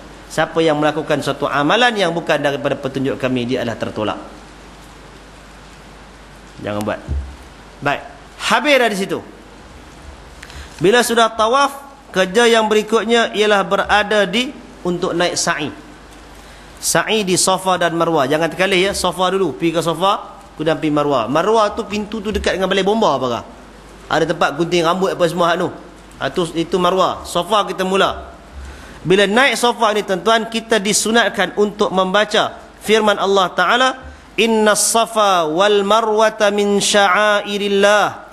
Faman hajjal baita aw i'tamara fala junaha alayhi ay yatawwafa bihima. Wa man tatawwa'a khairan fa innallaha syakirun alim. Baca yang tu. Ha, ini kalau doa ni rasa-rasa terganggu payah hafal cuba hafal kalau tak boleh hafal buku tu ada kan pandangan tu? Ha lipatkan muka surat hak tu baca yang tu. Ini untuk naik bila sampai di sana. Kemudian kita sebut lagi nabda'u bima bada Allahu bih. Sampai situ. Dan kemudian dia naik. Kalau boleh yang disunatkan naik sampai nampak Kaabah tu. Tengok Kaabah Ustaz. Tak ada doa apa tang tu. Tengok je. Tak payahlah pergi lambai Kaabah angkat tangan apa semua. Bukan je siapa nak sahut lambaian kita tu jangan nak sangka malaikat tunggu atas atas bumbung Kaabah kita angkat tangan depan lambai tangan juga. Jangan dia buat mengarut. Kadang-kadang kita nak sangka baik tawaf tadi syarat dia mesti berwuduk tu cerita tawaf. Berwuduk ni cerita nak bertuh tak bertuh nak cerita ke? Tak payah cerita tuan-tuan. Bertuh lah kot mana pun tak batal. Tak batal. Melainkan kalau kalau bertuh tu naik syahwat keluar ayat madhi hak tu batal pasal keluar ayat madhi hari mula tak jadi lagi hari kemudian-kemudian tu lagi buat cabaran tu gelora tu berlaku baik itu tawaf. Tapi sa'i, sa'i dia tak ada syarat untuk kita berwuduk. Kalau kita tak ada wuduk pun sah. Masa habis, elok je habis round tawaf tadi, dia pun keluar lah angin ke apa ke, batal. Ataupun pergi toilet saat, saat kita main. Tak ada berwuduk, tak apa. Sa'i sah tanpa wuduk. Tapi tentu lebih afdal berwuduk dalam ibadat ni. Itu saja. Dan nak berwuduk pun tuan-tuan, agak-agak payah nak pergi cari tandas pun tak jumpa. Kalau kita spare ayat besar ni, besar ni pun cukup ambil wuduk ni. Cari tempat-tempat yang agak tidak mengganggu Tak pergi tumpah licin orang Ambil uduk tentu sikit Tak apa Ataupun pakai spray tu kan Boleh juga ambil uduk tu Ini semua benda teknikal Teknikal ni kena mau fikir Kena ada sikit kreatif Macam mana nak buat Nak pergi beli ayat Cari punca tang mana pun tak tahu Sekali balik mai tak jumpa Ataupun sesat ke Tunggu suami isteri Tak tahu mana tempat nak tunggu ha, Benda-benda peralatan yang Ni kena ada perlukan kreativiti Baik, bila sa'i kita berjalan, sebelum kita berjalan, kita pandang dulu Kaabah tadi ni. Kita bertakbir, Allahu Akbar, Allahu Akbar, Allahu Akbar. La ilaha illallah wahdahu la syarikalah. Lahul mulku wa lahul hamdu. Yuhyi wa yumitu wa huwa ala kulli syai'in qadir. La ilaha illallah wahdahu la syarikalah. Anjaza wa'dah wa nasara abdah. Wa hazamal ahzaba wahdah. Ha, ulang yang tu tiga kali. Ha, tu ada bacaan tu. Ini di sofa. Tengok Kaabah, baca yang tu. Jalan. Sepanjang perjalanan tu nak buat apa? zikir jalan saja betul jalan. Tengok orang orang jalan capek orang jalan ni orang jalan orang kecil orang besar warna kulit macam-macam hak segak hak tak segak. Yang jalan pikul anak aku belakang jalan pikul mak aku belakang. Budak-budak tolak stroll apa nama wheelchair tu. Tengok tengoklah nak apa tak benda tu tak mengganggu. Tidak apa tidak membatalkan apa cuma yang lebih baik lebih afdal ialah khusyuk tawaf jalan sa'i sampai di marwah. Sebelum sampai di marwah kita akan jumpa lampu hijau dua di situ disunatkan bagi lelaki bukan perempuan untuk berlari-lari anak bukan berlari jogging perlahan lari anak yang cergas.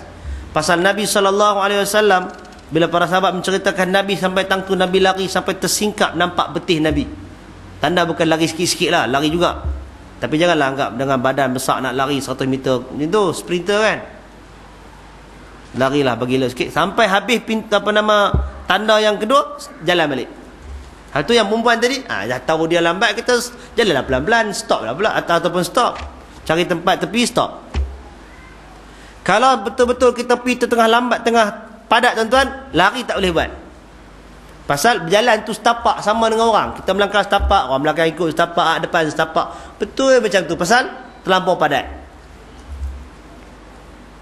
Supaya juga dengan tawaf. Hari mula sampai tawaf umrah tu kalau yang penerbangan awal dia boleh buat selesa.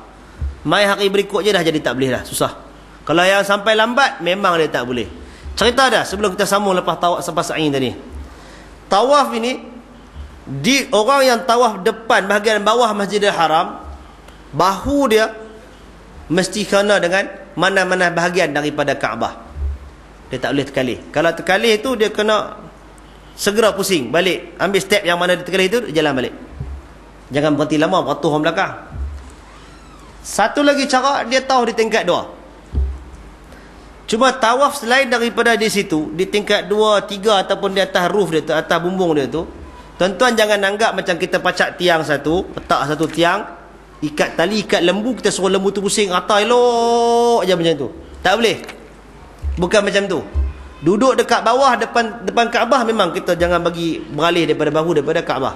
Mai tingkat dua dan seterusnya Tuan-tuan berjalanlah setakat mana yang boleh berjalan. Bahu ni menghala ke arah sahaja. Dia lari ke ni sikit, lari ni sikit tak apa. Pasal memang tak boleh. Kalau tuan-tuan betul-betul nak ikut Tuan-tuan kena tawaf ni hujung masjid lagi Ikut round itu. Itu pun tetap tak boleh. Sampai tang tu ada bangunan pula. Bangunan mana nak langkau? Kena pusing kot ni. Kalau tuan-tuan rapat dengan masjid Rapat dengan Kaabah bagian tepi pagar tu Dia ada tempat yang bersegi. Takkan nak terjun langkau pagar tu pula jadi siapa yang tawaf di tingkat dua atau tawaf di atas tidak disyaratkan bahu mesti betul kena dengan mana-mana bahagian Kaabah. Cukup arahnya sahaja. Kalau tuan-tuan bawa orang dengan wheelchair naik atas, memang tak bagi turun bawah. Tujuh round di bawah dengan tujuh round di atas. Yang di atas tu rasa-rasa dua ada dengan 4.9 km kot. Satu round tu dua ada 7 meter 700 meter. Yang di bumbung. Tapi habis sama. Pasal yang ni kita boleh speed, yang di bawah tu jalan setapak-setapak. Pilih mana yang rasa selesa dan sesuai.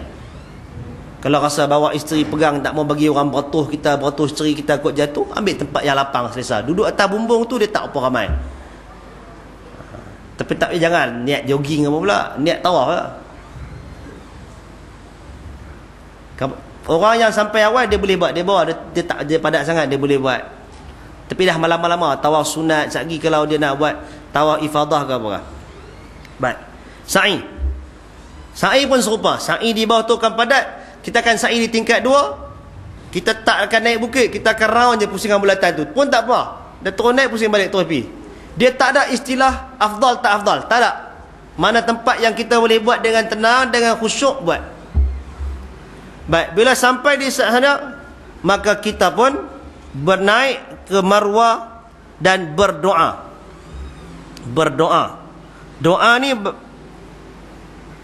banyak-banyak doa. Boleh doa apa saja tetapi tidak disyaratkan melihat Kaabah. Pasal kadang-kadang menguna dengan tiang apa semua mana kita nak nampak Kaabah? Berdoa. Di marwah.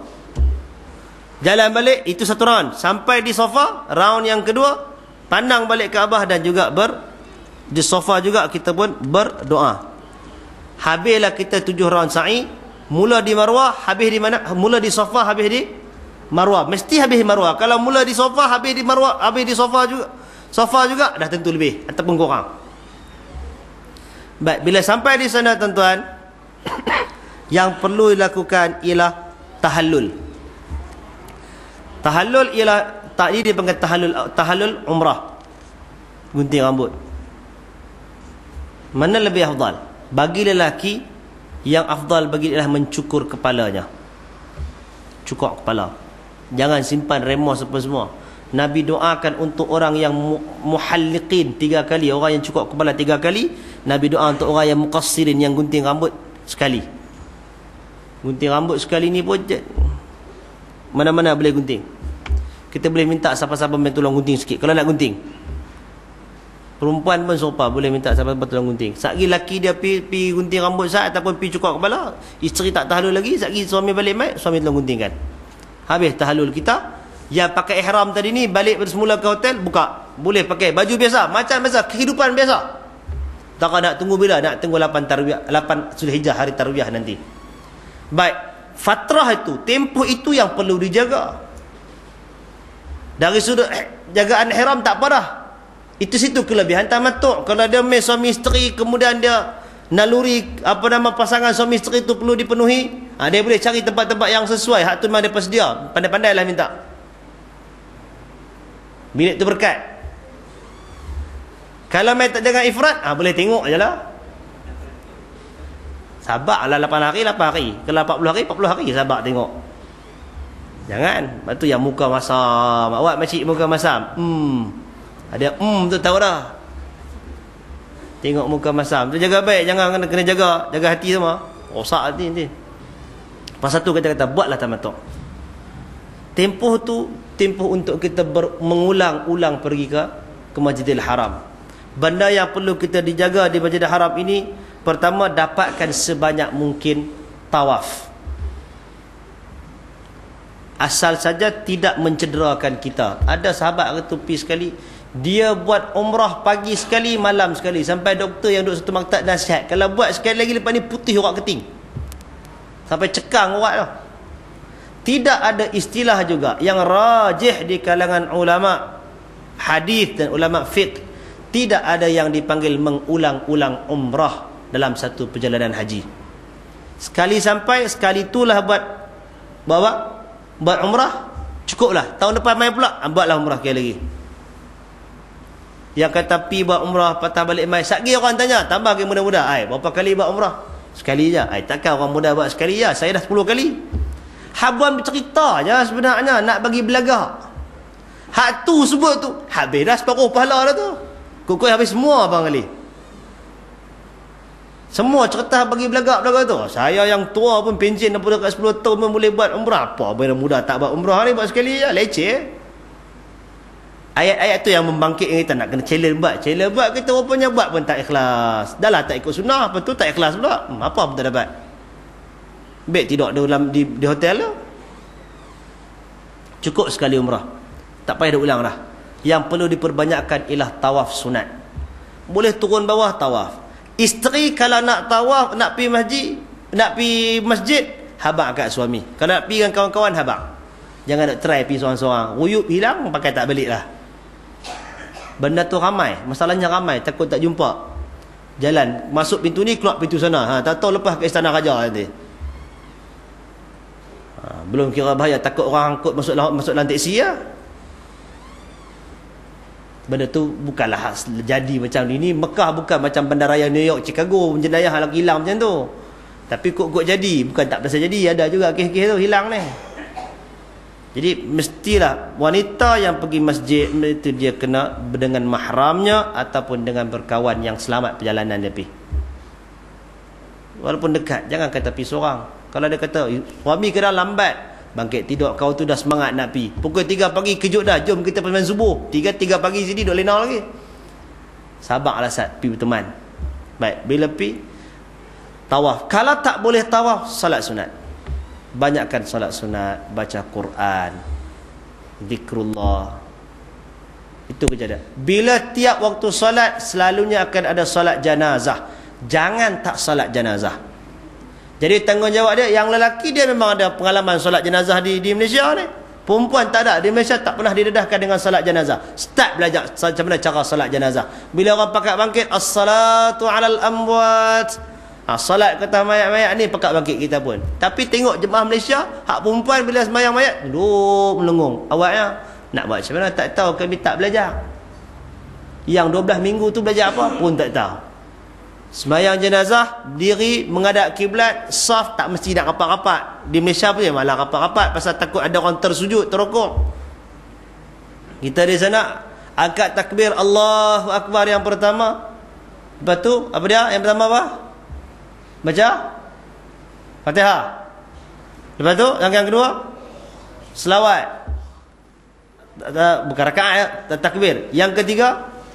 Doa. Dah tak tahu doa baca bacalah Allah maghfirlahu warhamhu. Cukuplah tu. Doa ulang Allah maghfirlahu Allah maghfirlahu pun tak apa. Rakaat apa nama takbir yang keempat pun nah, kalau di Mekah ni sat takbir keempat tu tak ada doa ada assalamualaikum dah. Pun tak apa. Assalamualaikum assalamualaikum. Pahala ni tuan-tuan berkenjah penuh ni cerita dia kita duk pi dengan hambok di ribu-ribu sampai sana orang sembahyang kita tengok apa tak tahu apa. Masa orang solat kita solat. Masa solat jenazah kita solat jenazah. Ini teknikal. Dan jaga kesalahan di masjid ni ialah kalau solat perangai. Bukan kata perangai Melayu beramai perangai Indon perangai sejenis lain. Sembahyang nak cari tempat yang redup belaka. Zuhur asar memang panas. Dia semua sembahyang tempat yang redup. Bila sembahyang tempat yang redup apa jadi hak depan tu lapang orang nak naik eskalator tak boleh lepas jangan buat yang tu itu jadi bertindan jatuh tangga apa semua tu yang menyebabkan orang terpaksa lintah depan orang yang solat Para ulama ada berbeza pandangan tentang lalu depan orang yang salat. Sebilangan fuqaha mengharuskan lalu di depan orang yang salat di Masjidil Nabi dan di Masjidil Haram dengan alasan terlampau padat menyebabkan sukar untuk mengelakkan. Ya, begitulah keadaannya kalau duduk dekat tempat bawah tu. Tapi mai atas bumbung lapang terang-terang punya lapang, gatai kita salat di tempat yang menyebabkan orang nak kena lintas depan kita, kita menyebabkan orang tu melakukan perkara yang dilarang oleh Nabi. Lau ya'lamil mar baina ma baina yada yadayil musalli lan tadara arba'ina kharifan. Kalaulah orang yang lintas daripada orang solat itu tahu apakah dosa yang akan dikenakan kepada dia bila lintas depan orang yang salat nescaya dia sanggup tunggu 40 kali musim luruh maknanya 40 tahun dia sanggup tunggu kalau tahu dosa tu jangan salat di tempat yang bagi yang menyebabkan gangguan kepada orang yang lain. Ha, kalau tempat tu dah memang padat tak upaya kita salat di situ. Tapi kalau tempat roof tu bumbung yang atas itu jangan cari pasal. Kalaulah orang yang lintas daripada orang salat tu tahu apakah dosa yang akan dikenakan kepada dia bila lintas depan orang yang salat nescaya dia sanggup tunggu 40 kali musim luruh. Maknanya 40 tahun dia sanggup tunggu. Kalau tahu dosa tu.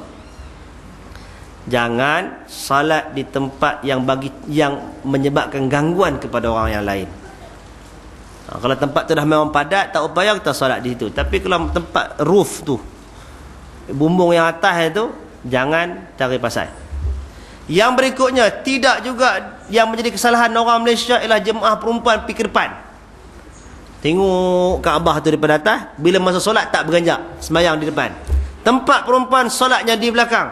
Tuan-tuan takkan tergamak perempuan semayang depan, lelaki semayang belakang. Masa rokok dia, dia rokok, kita pun rokok. Dia sujud, kita pun sujud. Pening. Dalam Melayu pakai semua putih, ya kan? Tambah main Indon pakai penjarang apa semua. Orang belakang jadi pening. Semayang tak khusyuk. Ih, tak gamak tuan-tuan. Yang heran tu, Tabiat mai semayang Jumaat dah memang tergaranti pilih tempat belakang sandak dinding. Pi sana hak yang lelaki sandak di dinding belakang tu. Hak yang perempuan dia lepas pergi ke depan. Akhirnya semayanglah soft perempuan depan dan lelaki di belakang. Yang tu kesalahan. Yang berikutnya kesalahan, walau macam mana sayang pun kita dengan isteri, janganlah buat amalan semayang berduet. Bentang sajadah suami isteri, semayang berdua macam tu. Janganlah buat. Tinggallah, masa semayang tinggal. Faham-faham semayang di belakang. Cari tempat-tempat jemaah perempuan Semayang di sana Ada lelaki main kata semayang belakang Habis cari tempat belakang tu tak ada lelaki Yang kita kita pergi tu. Janji. Ha, nak balik lagi janji. Tunggu tang mana. Tengok lampu tu ke. Tengok tiang ke. Tengok tempat rak. Ayat zam-zam ke. Ha, janji tang tu. Ini kesalahan. Memanglah tak puas kata. Kami belajar lu kata. Kalau solat nak kena pandang Kaabah. Pandang Kaabah kalau boleh pandang. Dah mayang duduk ke atas tu nak pandang Kaabah. Baik mana? Bila pergi ke depan. Akhirnya. Tuan-tuan tengoklah. Bila belongok perempuan sembahyang di depan. Tak percaya saya tengok. Malaysia penuh atas belakang tu. Orang Malaysia yang buat kerja ni. Tak tahu dia tak tegak apa dalam bentuk khusus. Tarik main belakang.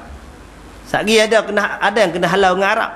Hajar, hajar, haram. Warak, warak dia kata. Pergi belakang. Muak cik tu pun mulut muncung lah. Penat dia main daripada ulu berang apa semua. Nak main tengok gambar. Dia hambat pergi belakang. Ini bukan diskriminasi jantina. Tetapi menjaga kehormatan wanita. Semayang depan khalayak ramai dengan rokok dengan sujud tengah terbalik tu nak, nak tayang depan lelaki. Itu kesalahan yang berlaku. Kesalahan yang lain berlaku ialah terutama bagi lelaki perempuan bukan payah sah penuh lapang selapang-lapangnya depan tak berganjak pergi ke depan. Ni kita sebut lalu ni. Dia bila sah depan lapang segera tinggallah sejadah yang baru beli baru beli 30 rial tu. Tak apa tinggal sat tak ada hilang ah. Kalau hilang pergi beli lain. Pergi ke depan penuhkan sah Nur dia kata penuh sampai lima sah depan takkan nak berjalan kot. Jalan tak apa. Pergerakan memenuhkan sah itu tidak dikira dan tidak merosakkan solat. Tidak ada satu langkahan Nabi kata yang lebih afdal daripada langkahan memenuhkan sah di dalam solat. Bila Nabi sebut yang tu tuan-tuan, kita buat pula ketika kita sedang menunaikan ibadat, nak buat haji ni, nak tunggu hari nak buat haji kita duduk di masjid di masjidil haram pula pahala berganda-ganda. Pahala belakang tu yang kita nak rebut. Ha, penuhkan soal depan kesalahan yang lain belum tunggu masa lapang buka Quran baca Quran habis baca Quran saat lagi ni tiba-tiba orang makin azan kita menyegar nak pergi hantar balik Quran letak dalam lantai. Yang tu haram. Jangan tiru. Arab memang buat jangan kira puak-puak ni kadang kes dengan kaki pun ada Quran Hak jadi tak kerti lah. Hak yang pandai tak apa. Jangan tiru hak tu. Lagi apa kesalahan? Kesalahan yang lain ialah bila bawa bawa kasut Nabi SAW ajak bila bawa selipar ke apa ke letak di kiri kita kalau tidak mengganggu orang di sebelah kita kalau ada orang Nabi ajak letakkan kasut kita tu hak kita bungkus dengan dengan plastik telekom. Ha tahun-tahun dulu telekom. Letak di antara dua kaki kita. Bungkus letak dalam tu. Jangan pergi letak kat depan. Ganggu orang depan nak duduk pula duduk atas kasut kita. Letak belakang ganggu orang belakang nak sujud. Letak kat celah kaki kita. Ha, ini adab. Ini sunnah Nabi. Ada lagi tajuk tentang tentang masjid ni? Tak ada lah tu. Masuk waktu solat atau solat? Kalau solat subuh Dah imam tak kunut jangan pandai tanah tangan Allah mahdini siman hadai pula tak payahlah.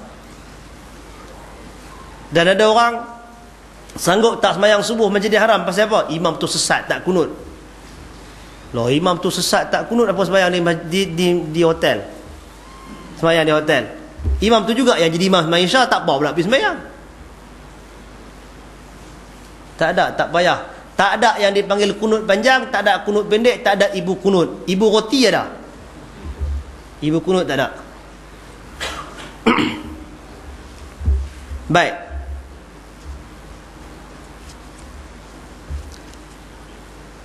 Sampailah kepada hari tarwiyah. Hari tarwiyah ialah hari 8 hari bulan. Apa yang kena buat? Pada hari yang ke-8 yang Zulhijjah digalakkan bagi orang yang bertahallul umrah tadi ni orang yang buat tamattu' untuk membuat sekali lagi ihram haji pula. Pada waktu tengah hari. Duha lah waktu duha. Di rumah masing-masing. Yang ni pasal apa? Dia dah duduk di Mekah maka dikira miqat dia lah miqat orang Mekah.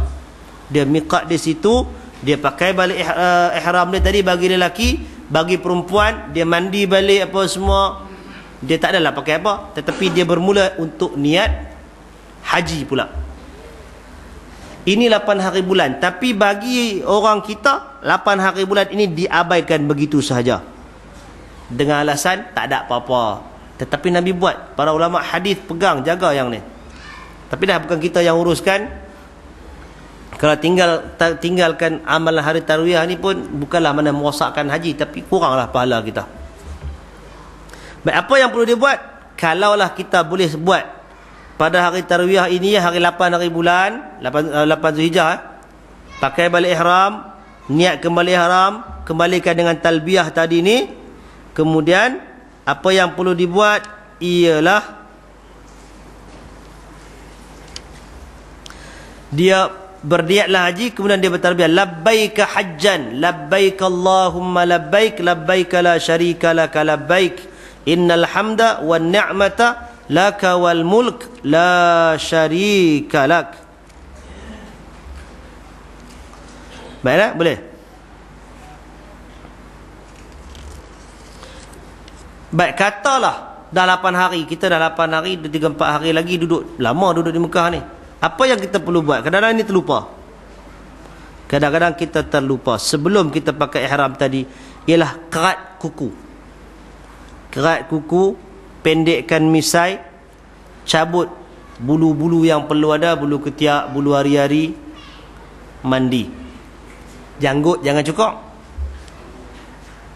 Rambut tadi ni, dah mula tumbuh mula bintik-bintik tu kelimumur penuh apa semua kan. Biasalah tu. Kemudian mandi kita pakai balik macam tadi. Perempuan pun serupa tu juga buatlah benda-benda tadi ni mandi kemudian uh, sebelum tu keratlah kuku cabutlah bulu apa yang perlu cabut. Dan pasal apa kena buat? Pasal kita dilarang buat benda tu selepas daripada ihram. Nak ada lima hari lagi ni. Baik. Kemudian kita disunatkan untuk pergi ke Mina sebelum ter, tergelincir matahari. Banyak akan bertalbiah dan salat di Mina zuhur dan asar maghrib isya dan subuh salat zuhur asar dan isya dibuat qasar tanpa jamak yang ni kalau pi package rasmi kebanyakannya tak buat tinggal amalan nabi ni kalau tanya dalam sunnah, ada. Sepatutnya buat. Dia berkata kita mazhab syafi'i, tak apa, tak buat. Seolah-olah macam mazhab syafi'i tak ikut sunnah pula. Imam syafi'i pun buat. Keluar sana, berada di sana. Sebenarnya tak ada masalah kalau Wallahualam ini pengurusan lah. Kemah semua dah sewa apa semua. Pi tambah duit pi bawa bawa bah pi sana je. Pi duduk sana ada kemah dia buat. Tapi Allah Alam ini, ini tengah tanya orang yang pengurusan menguruskan PK haji dan sebagainya dia bertanggungjawab untuk menguruskan kalau kita memang pergi sendiri pergi package hak murah punya kemudian kita pandai ada kawan-kawan kita yang memang pandai selok belok ah ha, buat ni kalau tidak mudarat lah kalau takak perempuan muda-muda cegah-cegah lagi tak apa kalau bawa orang tua kita kata ada sikit kesukaran nak bawa macam tu baik kemudian berada di Mina pada malam hari Arafah. 8 tu bulan Arafah kan? Malam tu hari Arafah. Kalau yang biasa dia buat Mina tu 8 ah, hari bulan bukan pi Mina. 8 hari bulan terus pi Arafah. Bolehlah kita kata dari sudut mencukupkan rukun Arafah masuk awal. Sagi bila masa ter tergelincir matahari niat wukuf dapat pahala. Wukuf sah dah haji tu. Tapi kalau kita nak cari dari sunnah Nabi berada di Mina sampai waktu subuh Kemudian maknanya bermalam di Mina ni, 8 malam 9 berada di Mina sebagaimana yang Nabi buat. Lepas tu solat subuh, lepas solat subuh berzikir kepada Allah Taala sampai terbit matahari, selepas terbit matahari berjalan daripada Mina ke Arafah.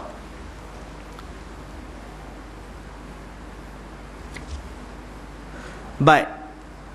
Antara kesalahan yang berada yang berlaku di, di hari tarwiyah ini ialah meninggalkan talbiyah tak bertalbiyah yang kedua ialah menjaharkan niat. Nawaitul hajjah apa nama tadi ni? Yang tu juga kesalahan. Yang berikutnya meninggalkan bermalam di Mina yang kita sebut yang keempat menjamakkan salat di Mina. Yang sunnahnya Nabi qasar tidak jamak di Mina. Hari itu. Untuk hari itu. Kesalahan yang lain ialah mendedahkan bahu bagi lelaki bila pakai ihram dia pakai siap-siap yang tu. Kita kata tadi yang dedahkan bahu ni cuma bila? Cuma ketika tawaf sahaja. Habis tawaf buka pakai balik macam itu. Kesalahan yang lain, hak ni bukan kata di situ saja, kesalahan sepanjang sepanjang pakai ihram. Ialah yang salat hanya pakai hak bawah izar tinggal buka baju. Yang tu kesalahan. Kita dah sebut bab tu dalam kita kuliah kita Nabi sallallahu alaihi wasallam melarang. Nabi kata, "La yusalli ahadukum fi thawbil wahid laisa ala atiqihi minhu syai." Tidak janganlah seorang daripada kamu salat dengan satu pakaian yang tidak ada pada pada tengkuknya sesuatu yang menutup tengkuknya. Baik, yang berikutnya kesalahan yang lain ialah ada saat gini kita tak ada ada kita kira saat gini sampai sana ada yang buat petua tiap-tiap seorang pakai jadi ustaz belaka yang menyangkakan nak ihram haji kena ihram daripada masjid Nabi. Sorry, daripada Masjidil Haram. Itu kesalahan. Kerana yang sunnahnya ialah berihram haji di tempat tinggalnya. Sama ada kalau duduk di Mekah, di Mekah. Kalau dia keluar daripada Mekah, duduk di Mina, di Mina lah. Yang berikutnya, kesalahan yang lain ialah ada yang menyangka tak kena tukar kain ihram pakai set yang lain. Tak boleh pakai hak harimai tu tak boleh pakai. Kena pakai hak lain pula. Yang tu juga perkara karut khurafat yang berlaku. Ada yang kena kena tukar set lain. Ada yang kata tak boleh pakai yang tu. Kena basuh dulu baru pakai lain. Basuh ni bila? Kalau kotor, kalau ada najis, kalau kita rasa berbau tak selesa ke. Tapi dia nak pakai rumah tu sat je. Pakai balik hak tu pun tak apa. Baik. Yang seterusnya ada yang menyangka tak boleh tukar ihram ihram daripada mula sampai sudah sampai naik naik kusam naik belemuh dah kain ihram tu.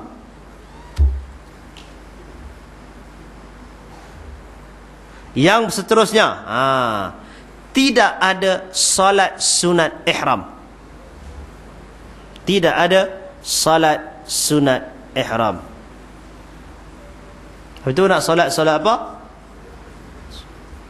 Kalau nak solat juga, solatlah apa-apa yang lain daripada ihram. Sembahyang sunat. Kalau kena hari tepat-tepat pakai ihram tu, sembahyang waktu, uh, masuk waktu. Pergi sembahyang waktu, cukup cakap tu. Baik. Apa yang dibolehkan oleh orang bagi orang yang berihram ini tadi, dia boleh pakai kasut, dia boleh ikat kain ihram dia dengan dengan tali dengan tali pinggang semua tak ada masalah. Dia boleh pakai jam, dia boleh pakai spek. Dia boleh pakai cincin. Dia boleh pakai kok yang jenis pekak ke jenis apa ke kok tak telinga tak dengar dia boleh pakai tu hak pengat suara tu. Yang tu boleh pakai. Dia boleh basahkan badan dia dia boleh menyejukkan badan dia dan dia boleh dia boleh berjunuk.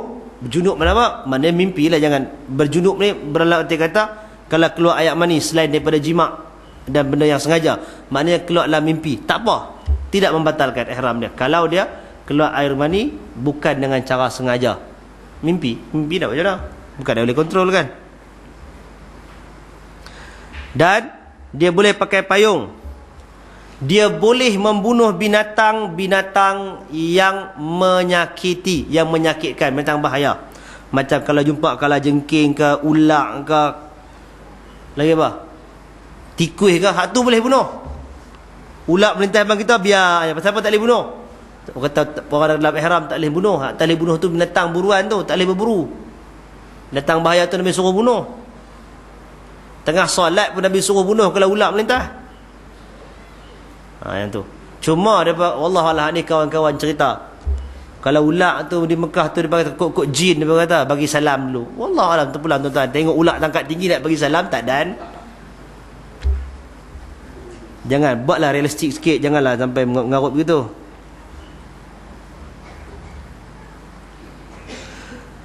Baik, bagi perempuan tak ada masalah pakai pakaian biasa, tak perlu dia nak cabut apa-apa, cuma muka dan tangan dia tadi ni.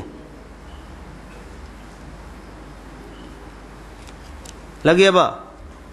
Dia boleh membawa binatang, pikul beg apa semua tak ada masalah.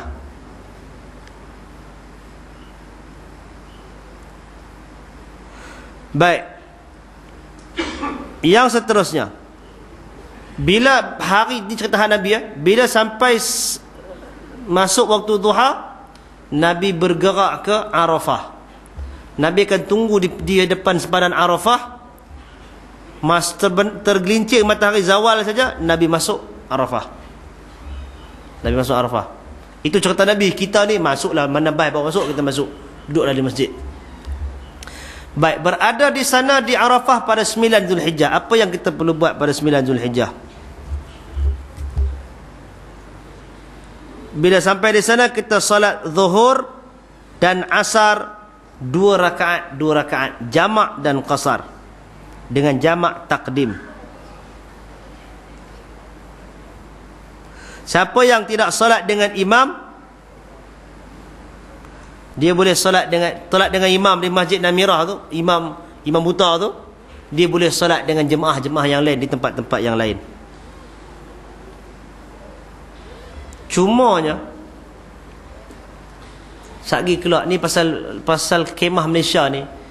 Nabi sallallahu alaihi wasallam di Arafah solat jamak zuhur dan asar, jamak qasar. Tapi pi dekat khemah Melayu dia semayang zuhur 4 rakaat. Asak-asak lagi dia mai 4 rakaat juga.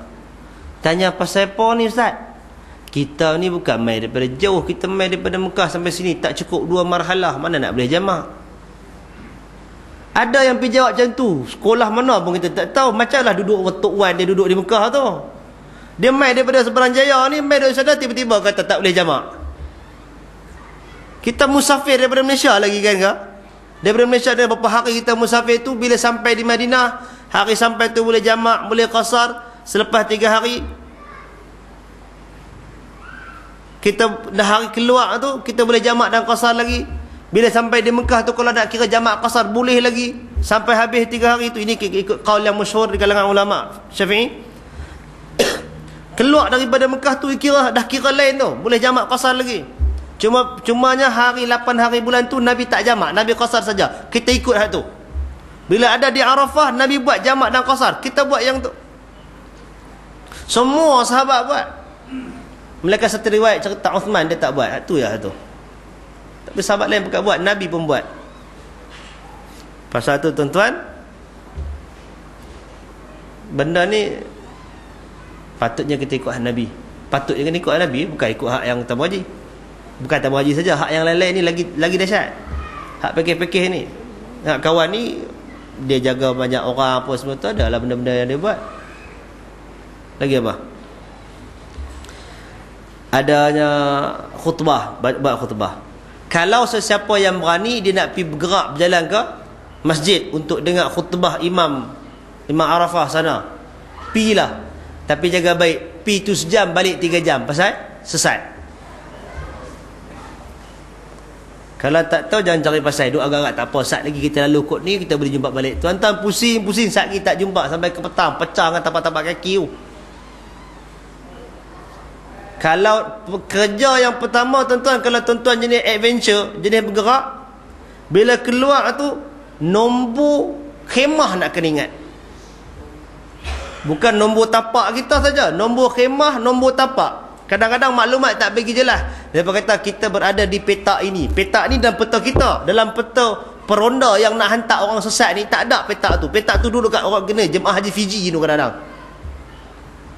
Itu nak kena faham tu. Kita kena tahu nak nombor petak kita, nombor kemah kita berapa. Tengok tiang ada nombor ada apa semua ingat yang tu. Kalau kata keluar atau sesat, dia ada ni bawa kereta dia tu, bawa macam bagi tu. Hak yang main golf tu kan. Main dia tengok atau kita pergi sendiri kita kata sesat ana fi dhalalim mubin kita kata ihdinas siratal mustaqim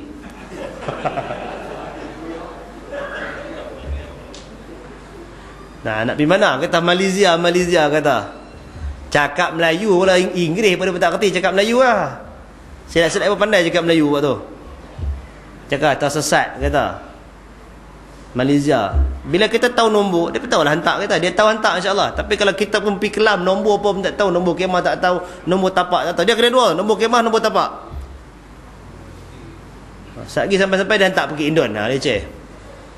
Itu yang kadang-kadang tu pi tu sesat. Jumpa dia. Sampai Mekah baru jumpa balik. Pasal tiga hari uh, sehari semalam duduk di Arafah tu duduk dengan jemaah Haji Pakistan dia kata jenuh makan biryani kami selesai Baik, berada di Arafah ni seluruh daripada Arafah tu adalah tempat untuk wukuf. Nabi berwukuf di bawah bukit tu. Dia panggil apa? Jabal Rahmah. Tidak ada mana-mana syariat nak kena mesti panjat Jabal Rahmah tu minta nak boleh menikah dua ke apa. Jangan nak buat lah. Tak ada. Ataupun yang tak menikah lagi cerita nak cari jodoh tang tu. Itu semua cerita khurafat belakang. Duduklah duduk di Mina, duduk Arafah, duduklah di khemah kita tu. Tuan-tuan, kelebihannya Arafah ini pertama orang yang wukuf tidak tidak disyariatkan berpuasa. Orang yang tidak buat haji disyariat syariatkan berpuasa Arafah. Itu kelebihan. Yang berikutnya mustajabnya doa pada hari Arafah ni tak ada tolak banding. Itu tempat yang kita ni digalakkan berdoa sebanyak-banyaknya. Kalau kenang tentang duk saja-saja fikir haji ni tang mana istimewa, cukup fikir adanya hari Arafah yang Allah buka makbulkan doa seluas-luasnya. Tapi kita pada pagi start masuk pada malam tadi masuk lena sampai orang nak keluar baru bangkit. Bangkit semayang orang makan. Ha, yang tu leceh. Dan kehidupan di sana tuan-tuan jangan anggap five star punya kehidupan. Pintu pun reban, pintu pun cabut kadang-kadang tu. Sekejap lagi hak laki nak pergi masuk tanah perempuan Perempuan nak masuk tanah laki Hak jenis itu semua pancaroba ujian Dia punya slogan dia Sabak banyak Mulut jangan keluar benda-benda mengaut Tapi kalau benda hak kita Kalau kita kita ber, berbual dengan kawan-kawan kita Kita nak amar makruf Nahi mungkar Kena sebut Kalau fakta yang dibagi itu salah Kita kena tegak dia Kita kena habakkan dia Kita habak Jangan buat diam Hmm, ini. Baik. Kemudian yang disebut dalam hadis Nabi sallallahu alaihi wasallam ahabbul kalami ila Allah arba sebaik benda yang perkataan yang paling disukai oleh Allah taala ada empat. Nabi kata subhanallah walhamdulillah wala ilaha illallah wallahu akbar. Maka perkataan ini wajar untuk diperbanyakkan sepanjang ada di Arafah. Antara lain yang dibacakan la ilaha illallah wahdahu la syarikalah lahul mulku wa lahul hamdu yuhyi wa yumitu wa huwa ala kulli syai'in qadir. Zikir ni sebanyak-banyaknya. Kemudian talbiyah. Talbiyah zikir talbiyah zikir selawat istighfar banyak-banyak berdoa berdoalah kepada Allah Taala duduk saja berdoa baca Quran. Tu yang kadang-kadang tu ada spare Quran kecil tu. Gaya bagian nampak lah Mata clear, mata kelam Jangan ada buka Baca langkah baris berusaha Ada Quran besar-besar tapak tangan kan Ustaz tu habuan boleh masuk poket kita Poket mana masuk bag kita ke apa ke Yang kita jaga kehormatan dia. Baik Kemudian Bila terbenam saja matahari Arafah Matahari pada hari Arafah Maknanya penuhkan hari Arafah dengan ibadat khusyuk. Menangislah depan Allah Taala. Masa itulah untuk kita betul-betul all out punya doa. Special. Daripada lepas tu bila terbenam matahari, maka bergeraklah ke Muzdalifah dengan tenang dan penuh khusyuk. Jangan lara. Nikmat tuan-tuan kalau jalan kaki ni cerita zaman muda-muda dulu. Jalan kaki ni tengok macam-macam bendera ada. Bendera Jepun hijau putih ada bendera Bangladesh merah hijau ada bendera bendera Kelantan ada bendera Kedah ada bendera Nu ada kain plekat ada kain songkit ada. Baju kurung pun ada mereka buat kendek bendera daripada yang pakai payung sampai tu. Jalan ni kalau jalan 20 orang sampai kat Minas lagi tinggal 2 orang hak lain selera pasal jalan penuh ni. Yang takjubnya geng-geng belah India ni pikir mak ni atas belakang ni. Jalan berapa kilometer tu? Sabak apa Melayu tak buat. Boleh berjalan. Ni kalau berjalan Kalau kita naik bas Naik bas lah tuan-tuan. Pengalaman yang ngeri yang itu Waktu main dari Malaysia tu Tersekat. Sampai di sana tersekat. Tak boleh pergi sampai ke Mina. Tu yang pusing-pusing Sampai 24 jam Tabah saja. Banyak je banyak jemaah haji yang kena macam tu. Kalau kata tekanah tuan-tuan, keluar-keluar tu ataupun sepatutnya keluar pada terbenam matahari, kita salat di Mina sorry sorry salat di Muzdalifah Tapi kita keluar lambat, maka tuan-tuan salatlah di di Arafah tu sebelum keluar. Kalau kata bajet bas sampai bila? Bas sampai tengah malam. Pukul 11 malam sampai. Kita sembahyang jamak takdim di Arafah tu dulu. Di kemah kita. Kalau kalau dia boleh keluar awal daripada Arafah nak pergi ke, ke Muzdalifah tu, kita salat di di Muzdalifah. Kalau sampai sebelum masuk Isyak, salat jamak takdim, sampai sampai Muzdalifah dan Isyak, salat jamak takhir. Ini yang sunnah Nabi. Dan Imam Syafi'i rahimahullah beritahu salat ini buat di Muzdalifah sekiranya sampai tengah malam maka hendaklah salat segera. Ini di Muzdalifah. Baik. Katalah tekan dah tak boleh turun ke Muzdalifah. Ni 9 malam 10 ni. Salat di mana? Salat tahbah. Mana nak cari kiblat? Kalau ada kompas tunjuk tunjuk kompas. Kalau tak ada tak ada tunjuk kompas tu agak-agak tang mana hala Mekah tala tang tu. Kalau boleh berdiri semayang berdiri sepanjang-panjang bah tu. Tak boleh berdiri semayang duduk di situ. Kalau boleh berjemaah jemaah ramai-ramai tentu.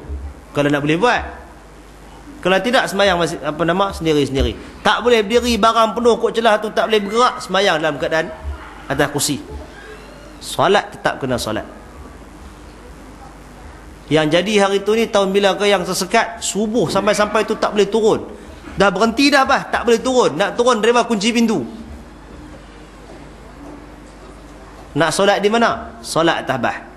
Tolong kejut kawan-kawan yang duduk dalam bah tu solat subuh. Nikih yang terkandas apa semua ni. Benda ni bukan selalu jadi.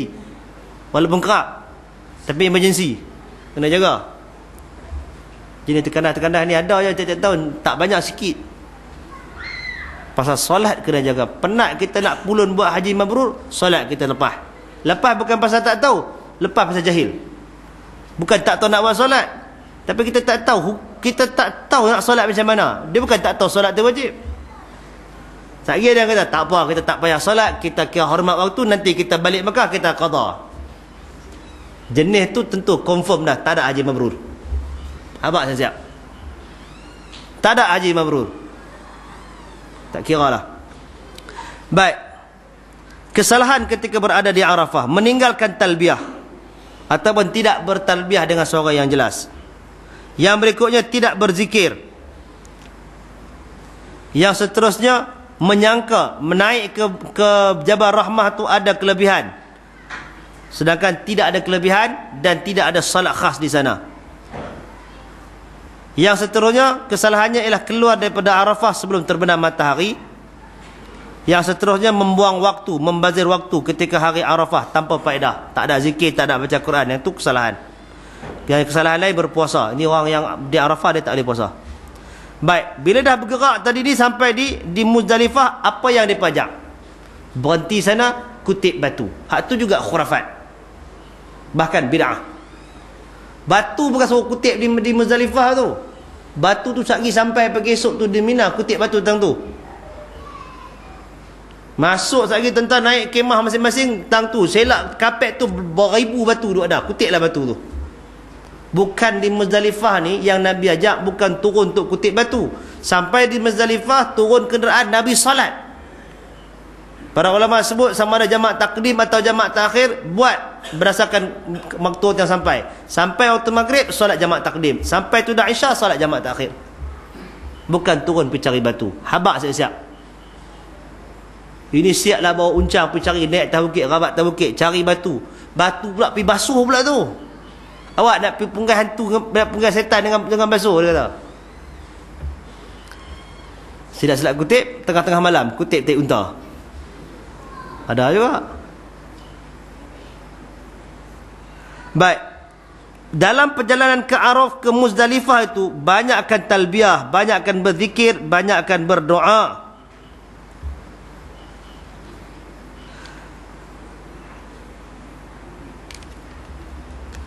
Ada hadis khas Nabi sebut, Nabi ajak bab ni. Nabi salat di Muzdalifah ni dua salat, maghrib tiga rakaat, isya dua rakaat pasal qasar dengan satu azan dan dua iqamah. Hadis itu sahih. Dan tidak ada solat sunat antara maghrib dengan isya. Macam biasa lah sembahyang jamaah kan ada solat sunat tengah-tengah tu.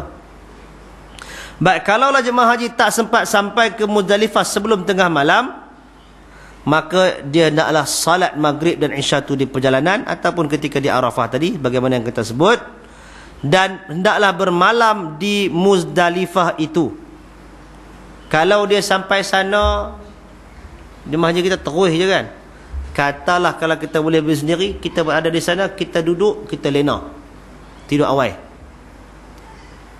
Kemudian, di, dibenarkan untuk wanita dan kanak-kanak untuk terus daripada Muzdalifah ke Mina selepas tengah malam. Yang ni kita tak buat ni, Malaysia tak buat. Melainkan kalau tuan-tuan ada sendiri package boleh buat, buat. Lepas tengah malam perempuan boleh pergi dulu. Kalau tidak, yang lelaki dia kena tunggu. Bila masuk fajar subuh, solat subuh, hendaklah solat subuh di Muzdalifah. Lepas Muzdalifah tu depan sikit sempadan dia dengan Mina ada yang dipanggil Al-Mash'aril Haram berdiri di Masyaril Haram mengadap ke kiblat berdoa dan berzikir kepada Allah Taala bertakbir dan bertahlil. Tunggu sampai hari naik cerah. Lepas hari naik cerah baru bergerak daripada Masyaril Haram tadi masuk kawasan Mina. Untuk apa? Jamratul Aqabah.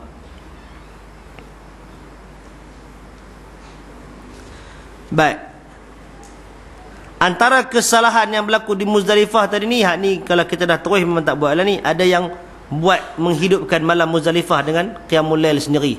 Buat solat sunat Muzdalifah ke apakah jangan dia buat mengarut.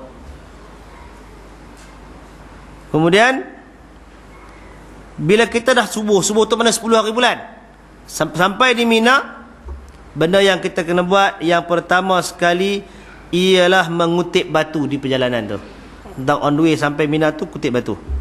Di Mina. 10 ketul batu. Jangan batu besar ni. Bunggai tu berdarah kepala tu. Besar kita punya ruah jari ya. Bila kutip batu kemudian bersegera kita akan lalu sebenarnya. Kalau orang yang berjalan kaki rombongan dia sampai wadi muhassid tu disunatkan bergerak segera. Sampailah kita betul-betul di Jamatul Aqabah di situlah kita berhenti talbiah kita berhenti talbiah orang di tempat lain tengah takbir raya ni. Kita berhenti talbiah kemudian kita pun carilah tempat yang sesuai untuk melontar jamratul aqabah. Dia ada dua lapis. Tidak ada beza antara lontak di bawah dengan lontak di atas. Nabi memang lontak di bawah. Pasal atas tu tak ada lagi. Lah ni main dengan orang main 3-4 juta.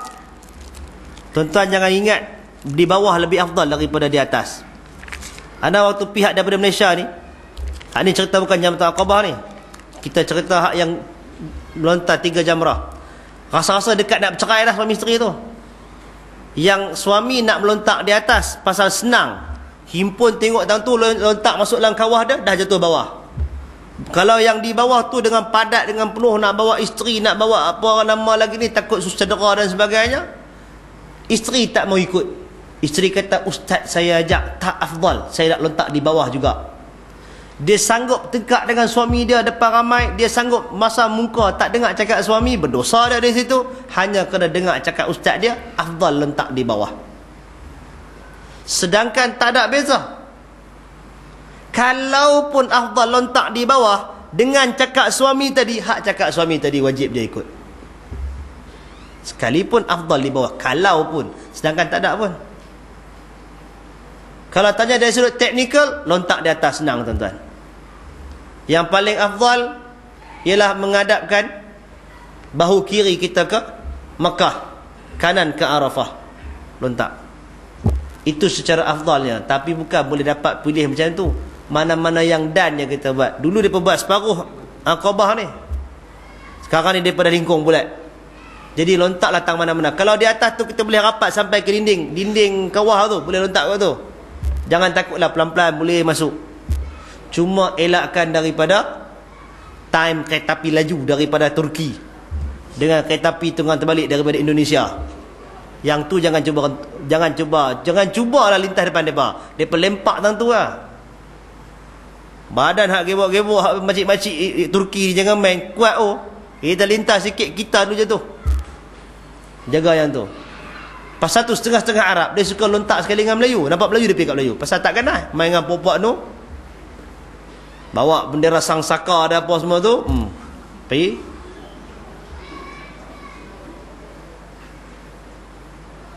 Apa lagi? Yang tu jaga. Yang seterusnya bila kita melontar jamrah ini kita dah stop daripada talbiah tadi. Buat dengan yakin tujuh balingan jangan lontar kau jauh tak kena. Bagi dekat bagi kena. Dan tak payah lontar lebih kalau kita dah yakin masuk tujuh. Cukup lah. Kalau rasa terlepas ha, baliklah satu lagi. Pasal tu spare lah. Tujuh batu untuk masuk spare lebih sikit. Satu dua. Tiga empat lah lebih sikit. Baik selepas daripada melontar maka kita disunatkan menyembelih kurban. Menyembelih al-hadyu. Dan kalau boleh untuk dia sendiri sembelih. Tapi tentuan kita mana nak boleh sembelih macam tu? Kita tak buat. Kita boleh bayak kemudian kan? Dan kita disunatkan kita lepas melontak tu kita boleh cukup kepala bagi lelaki.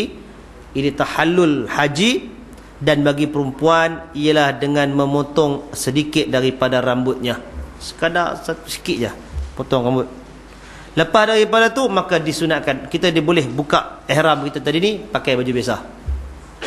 Ha, lepas tu nak buat apa? Nak ligan pi ke Mekah untuk tawaf ifadah. Ligan lah pi tawaf ifadah. Tawaf rukun. Kalau tak ada ligan yang tu duduklah di Mekah. Duduklah di, di kemah di, di Mina tu duduk tang tu. Sampai dah selesai balik baru buat tawaf. Pun boleh, tak ada masalah. Tapi kalau yang boleh buat dia segera pergi ke Mekah untuk tawaf. Kadang-kadang dia ligan, setengah orang dia ligan takut apa? Takut haid dan sebagainya pi. Tapi Tuhan takdirkan kalau jadi jadi juga. Ada sahabat tu dia ligan, dia lah kira sampai tu kira pertama sampai tu. Elok sampai pintu masuk masjid tu isteri dia haid. Hmm tak apa-apa. Walaupun bajet cantik lah ingat dua hari lagi tak dan. Itu semua ketentuan Allah Taala. Baik, lepas buat tawaf itu kita buat sa'i. Sa'i haji. Kalau yang boleh buat. Kalau tidak, tunggulah di, di Mina tu habis melontak tiga jamrah, baliklah ke situ. Tuan-tuan kalau nak cerita sebenarnya habis dah cakap tu. Kita dah cukup kepala, kemudian kita pergi buat tawaf ifadah, buat sa'i haji pula. Lepas tu tunggu untuk bermalam di Mina pada hari-hari tasyrik. Baik, apa yang nak buat pada hari-hari tasyrik? Selepas 10 Zulhijjah, 10 Zulhijjah kita tawaf dan sa'i di, di ni kita akan kembali semula ke Mina pada waktu untuk bermalam di Mina. Pada malam 11, 12 dan 13 dengan nafar sani. 12 jarang rombat orang selalu lanjut sampai 13 bagi jemaah Malaysia. Ada juga orang yang suka dapat nafar sani pasal nak berebut balik bilik kosong di Mekah tu. Ada juga. Tak apalah kan. Baik syarat berada di Mina ini kalau tuan-tuan memang tinggal di kemah tu duduklah tang tu. Kalau ni berulang alik dia duduk di sana mengikut sebilangan fuqaha sekurang-kurangnya 2 per 3 malam. Banyakkan berada di Mina lepas tu naik balik kenderaan balik semula ke Mekah. Yang jenis berulang. Ada yang berulang? ya ada. Dalam sunnah Nabi ada di kalangan sahabat Nabi yang kerja dia gembala kambing gembala apa semua payah nak duduk tinggal di Mina dia berulang. Nabi benarkan. Baik. Waktu dia bermalam di Mina dia melontar jamrah tiga jamrah tadi ni. Bagi orang yang sakit dia boleh mewakilkan kepada orang yang sihat untuk tolong melontarkan. Dan lontak ni kita lontak hak kita dulu. Lontak tujuh batu kita dulu jamratul uh, sughra yang yang pertama. Lepas tu kita lontak untuk orang yang kita wakil. Pergi pula yang yang kedua kita lontak hak kita tujuh kita lontak pula untuk orang yang kita wakil bila kepada jamratul kubra hak yang besar sekali uh, aqabah tadi ni kita lontak hak yang kita punya kemudian kita lontak yang orang pula. Dia bukan mesti kita lontak kita punya tujuh habis turun balik naik pula tak ada. Boleh kita punya tujuh betul orang lain pula. Tuan-tuan kalau pi tu kita pi sana lepas kita melontak kita disunatkan untuk berdoa berdoa lah. Apa melontak kita berdoa. Menghadap ke kiblat kita berdoa kepada Allah Subhanahu wa taala. Kerana kesalahan yang berad, yang kita lah sering dilakukan pada hari-hari tasyrik ini ialah kesalahan meninggalkan berdoa di jamrah. Jamratul sura wusta dan jamratul aqabah. Baik. Ada yang yang melontar jamrah ni Dia melontar jamrah ni bukan macam baling bola basketball tu. Angkat tangan dan baling. Dia tak ada baling macam ni. Mana nak lempaknya nak sampai. Baling, angkat macam kita melontar. Berupa rupa kita ialah macam kita melontar. Tapi jangan duk pengai tuju macam tu. Kalau kita tuju, kepala kawan depan teruk lah kena. Orang duk lintas masuk kita bagi. Dan kalau hak bawah tu tuan-tuan, macam-macam ada. Selipar, payung, botol, semua ada berpunggai.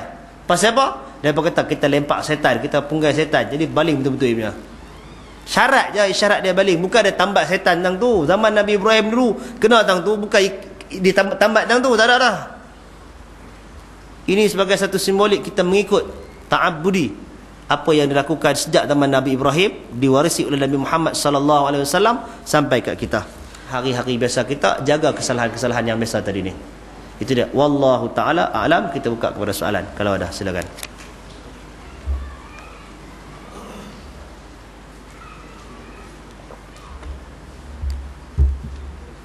Ada soalan? Tips dia senang, jangan cari pasal.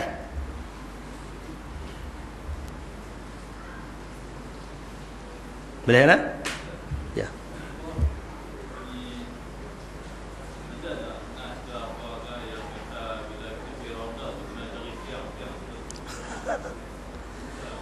Tidak ada satu nas pun yang minta kita cari tiang sama ada di masjid Nabi ataupun Masjidil Haram. Masjidil Haram dia berkata ada tiang jin.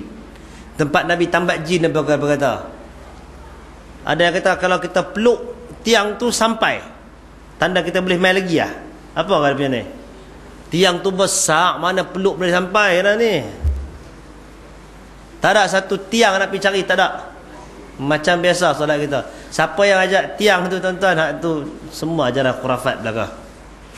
Nah. Raudhah ni kita masuk solatlah di mana-mana tempat. Daripada bagi sepadan dah tu. Pakailah itu. Yang tips tadi nak kata senang ya. Masuk tempat yang dekat dengan makam Nabi dekat rak Quran. Yang tu selalunya lapang. Walaupun tengah penuh tempat lain. Wallahu a'lam. Ada yang lain? Ramai ke nak pergi? Ya.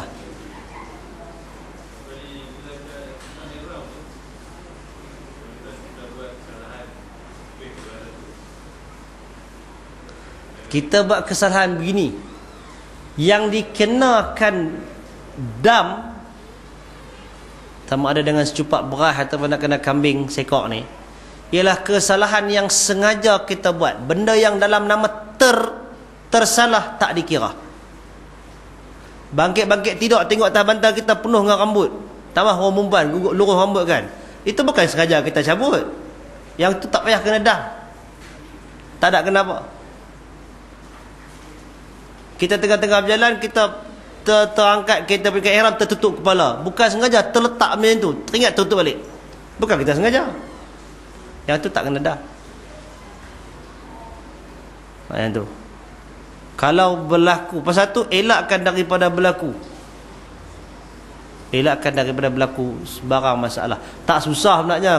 Kuku kita kerak daripada awal tak dalam tujuh hari takkan nak panjang macam tu kan Pasal tu yang dicadangkan tamatuk senang bila tamatuk ni ringan ihram tu tak banyak masalah. Wallahu alam. Haji. Ya.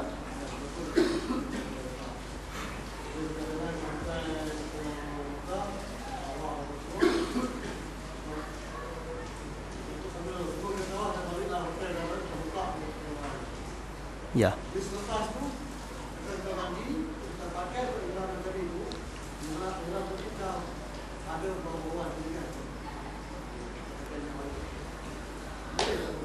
Boleh, tak ada masalah. Pasal hak tu ihram yang asal kita pakai tadi, dia melekat kat badan kita, bukan kita tok atas dia. Boleh pakai ihram tu, tak ada masalah. Kalau pun kadang-kadang kita pergi beli ayak, salah tak kita salin, jubah kita wangi, pun tangkut tang tu. Ke ihram kita pun sangkut tang tu juga. Terlekat bau tu sikit. Itu pun tak jadi masalah. Bukan sengaja kita buat tentu kita terletak timpa bertindih antara kain ihram kita dengan pakaian kita sebelum kita pakai ihram. Adalah wangi-wangian tu terlekat sikit. Itu juga bukan satu masalah. Bukan kita sengaja bagi wangi tang tu. Cuma nya kalau rasa-rasa ih tak gamak tukar ihram lain tu je. Dan susah ihram tuan pakai dua pasang kan. Jangan pakai sepasang leceh. Bawa mai sepasang lah. apa-apa jadi ke pergi sangkut bilik ayak tenggelam apa ke ha tu dia wallahu alam ada yang lain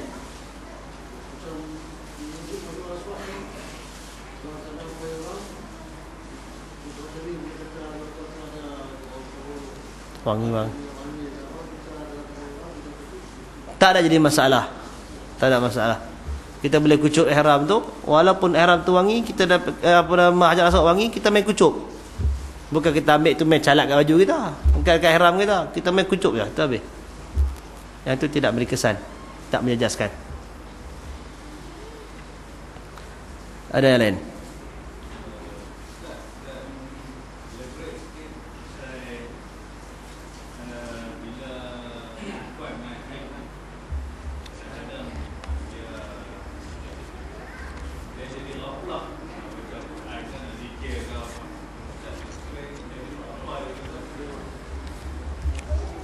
Baik, cerita tentang wanita dalam haid.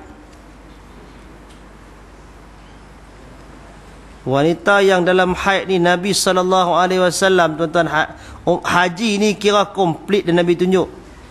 Nabi kata khudhu anni manasikakum ambil daripada aku ibadat haji kamu. Jadi Nabi tak tinggal apa-apa tuan-tuan melainkan Nabi ajak sebenarnya dalam bab perempuan dalam dalam peristiwa haji Nabi sallallahu alaihi wasallam Aisyah radhiyallahu anha bila dia sampai sebelum masuk Mekah buat haji tu dia didatangi haid. Benda yang Allah Taala takdirkan dia tak boleh sekat. Zaman tu bukan ada mai telan umpi apa semua. Zaman la boleh tampil tak? Tak satu nas yang mengharamkan dan tidak ada ulama yang mengharamkan. Kalau kata nak telan pil Masalah doktor kata membahayakan kesihatan ke apa semua tu, hatu kena tanya doktor. Tanya doktor. Bukan tanya ustaz lah tu. Ha. Kalau orang kata dia kata tak mau sepanjang-panjang musim haji dia nak terlampil dia tak mau haid. Tak ada nas yang melarang. Pasal kita agama kita dengan nas. Bila nas tak larang dia kembali kepada al-bara'ah al-asliyah. Cuma kalau kata kesihatan, hatu kena tanya doktor. Doktor kata membahayakan kesihatan. Jangan buat. Islam melarang bahaya. Kalau dia kata tak ada bahaya apa semua, terpulang. Kalau nak makan, tidak dipaksa. Kalau dia kembali kepada asal tak, dia nak normal macam biasa. Hukumat dia kata nak buat macam biasa, nature dia. Tak apa. Tak ada masalah. Dia boleh buat. Baik, sekarang ni kita kata dia memilih untuk macam biasa. Nabi sallallahu alaihi wasallam bila Aisyah mai haid Aisyah mengadu kepada Nabi ya Rasulullah orang mai masuk orang buat umrah apa semua dia tak buat. Dia mengadu kat Nabi apa nak buat? Nabi kata if'ali ma yaf'alul haj ghaira alla tatufi. Buatlah kamu apa yang dilakukan oleh orang yang buat haji melainkan jangan tawaf Begitu solat boleh ke? Jangan buat layak buruk pula. Solat awal lagi cerita solat awal lagi. Solat memang tak boleh. Ceritanya haji, tawaf. Tawaf sahaja yang dilarang untuk haid. Tawaf ifadah. Aisyah kemudiannya bila dia dah suci, dia minta adik dia Abdul Rahman untuk temankan dia pergi ke Tanaim untuk buat ihram di sana dan dia buat umrah. Pasal orang lain semua buat umrah dia tak buat. Jadi dia rasa dia nak buat Nabi izinkan. Itu Aisyah. Baik, perkataan Nabi, buatlah apa yang dilakukan oleh orang yang buat haji melainkan tawaf difahami daripada hadis itu oleh Al-Imamul Bukhari, oleh Al-Imamut Tabari, oleh Syekhul Islam siapa lagi? Oleh Al-Albani dan ramai lagi fuqaha yang lain. Dalam mazhab Maliki terutamanya dan salah satu qaul yang dalam mazhab Syafi'i menunjukkan orang perempuan haid dia buat semua doa talbiyah zikrullah takbir tahmid tasbih apa semua tadi termasuk baca Quran. Termasuk baca Quran. Dia boleh buat dan kita para fuqaha membuktikan hadis-hadis yang melarang wanita haid membaca Quran adalah hadis yang daif. Ada banyak hadis salah satunya himpunan hadis yang terdalamnya terdapat seorang lelaki yang bernama Abdullah bin Salimah. Perawi yang ambil daripada dia ambil ketika dia sudah berubah. Hafazan dia daif satu lagi ada Ismail bin Ayyash yang mengambil daripada orang-orang Hijaz juga daif. Bila hadis daif tidak tertegak hukum di atasnya tanyalah mana-mana apa nama ulama dalam pelbagai aliran pun hadis yang daif tidak dijadikan hujah dengan itu wanita haid boleh baca Quran tanpa perlu nak niat zikir ke ustaz nak yang tu ke tak ada. Ada buat benda pelik-pelik macam tu. Baca Quran macam biasa kalau nak baca kalau tak mau baca suci pun dia tak baca kan? Jadi tak ada timbul masalah apa yang tu. Itu dia. Wallahu alam. Jelaskan niat bersyarat bagi perempuan yang oh ini macam soalan periksa ni. Niat bersyarat bagi perempuan yang haid yang bimbang tentang haidnya dan tidak takut takut tak sempat menyelesaikan haji. Yang ni tuan-tuan dia boleh buat dua. Pertama dengan niat bersyarat. Maknanya dia tak sempat masa bila? Tak sempat kerana dia tak sempat nak tawaf haji, tawaf ifadah dan dia kena balik ke negeri dia. Tu jadi tak sempat buat haji. Dia buat daripada awal berniat. Sebenarnya tak timbul isu ni. Yang timbul isu ialah orang yang berniat bersyarat kalau memang memang dia dihalangi daripada buat haji. Yang tu satu. Cerita tu yang perempuan macam mana penyelesaian dia? Kalau dia sampai habis buat amalan, tinggal lagi masa dia nak buat tawaf haji tu, tawaf ifadah tu, dia dalam haid. Tentu dia tak boleh buat kan Nabi kata ghair anta tufi. Dia tak boleh buat dan masa untuk dia balik semula ke Malaysia panjang. Cukup untuk dia suci dan dia tawaf, dia boleh balik ikut suami dan sebagainya. Dia tunggu dia kena tunggu. Jangan dok berebut nak buat juga. Dia tunggu. Tunggu pula lepas satu tuan-tuan. Kita cerita dalam kuliah kita wanita yang haid ni patut daripada awal dia kena kira siap dah kelaziman dia macam mana supaya dia boleh faham. Dia ni normal ke? Urus dia punya pusingan tu ke ataupun jenis kejap pada kejap tak ada dia boleh cam dari dia. Kadang-kadang bila tak ambil berat daripada awal lepas satu dia tak cam. Dia kena tunggu bila dia suci pastikan dengan yakin dia suci. Dia ada panggil kita ajak kita sebut dulu dia ada yang sesuatu yang berwarna putih yang keluar penghujung menandakan dia suci. Yang benda yang sangat jarang untuk orang perasan kemudian dah kering kalau dia memang normal dia memang dah kering kering tu dia tahu memang kering maka dia kena mandi dan bersuci buat amalan orang yang suci dia boleh tawaf kalau dia tahu lagi kadang-kadang kering, esok lagi dia keluar balik. Pasal tu ditempuhkan oleh para ulama sehari semalam untuk memberikan keyakinan dia sudah suci, dia mandi. Katalah dia ada ruang lagi, esok nak balik hari ini disuci, dia sempat tak buat tawaf ifadah? Sempat, dia buat tawaf ifadah. Dia kena tunggu dia buat. Katalah hari dia sebab dia buat tawaf ifadah atau hari itu nak balik juga. Nak tahu tidak? Tawaf tidak sekali lepas tu. Lepas tu tahu tidak pula. Kalau nak buat tawaf Kalau tidak cukup sekadar tawaf ifadah tu dah orang dah panggil nak balik, tawaf ifadah tu sudah dikira untuk tawaf tidak. Pasal umum hadis Nabi Nabi kata jadikan akhir tempat kamu di Mekah dengan di di, di Baitullah di, untuk tawaf dengan tawaf. Ini kalau masa tu ketat, dia kalau dia buat serau lagi pakai tak sempat bahan nak pun. Ha, cukup sekadar tawaf ifadah sudah merangkumi. Baik, katalah ha, Itu yang satu keadaan Yang berikutnya ialah Dia tunggu dan dia tak sempat Kalau dia tunggu Penerbangan dia dah, dah, dah kena balik Apa nak buat? Ada cara lagi Habak kat tabung haji ke penerbangan Minta tangguh balik Seminggu lagi Kalau tergamak dah buat macam tu Buat, tak ada masalah Dia pun boleh uruskan benda tu Walaupun belum garanti Selalu dia kata tak garanti Tetapi kadang-kadang dengan orang mati, orang apa semua ada kekosongan, dia boleh hanjak pergi ke belakang. Ha, itu, itu teknikal. Boleh buat? Ya. Usahakan yang tu. Satu lagi penyelesaian yang diberikan ialah dia boleh balik ke negeri dia. Dalam madhab Hanafi kata sembelih unta. Madhab Syafi'i kata sembelih kambing. Dia kembali semula ke negeri dia dengan azam untuk menunaikan menunaikan kembali tawaf itu dalam tahun itu juga. Tuan-tuan anda fikir kira tahun itu juga tu bila? Dah bulan Zulhijjah tu 13 Zulhijjah, dua ada 16 hari lagi. Nak buat yang tu. Terpulang. Dan dalam tempoh itu kalau dia tak boleh buat macam tu, dia nak pergi kemudian. Sepanjang sebelum dia tawaf itu kalau dia wanita yang belum berkahwin dia tidak boleh bertunang tak boleh berkahwin. Pasal dia belum selesai lagi tu.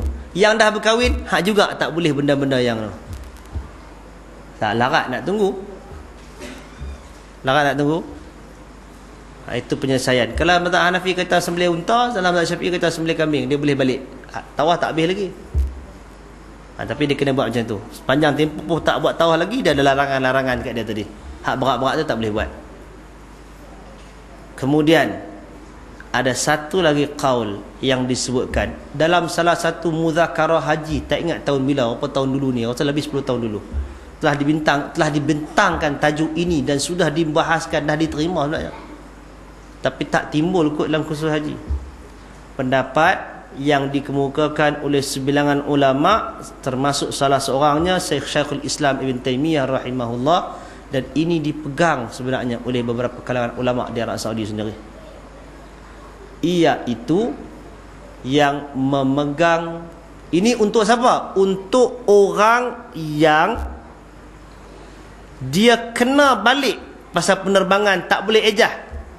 Kalau kata nak ejah pun tak celus tadi ni, tak dapat.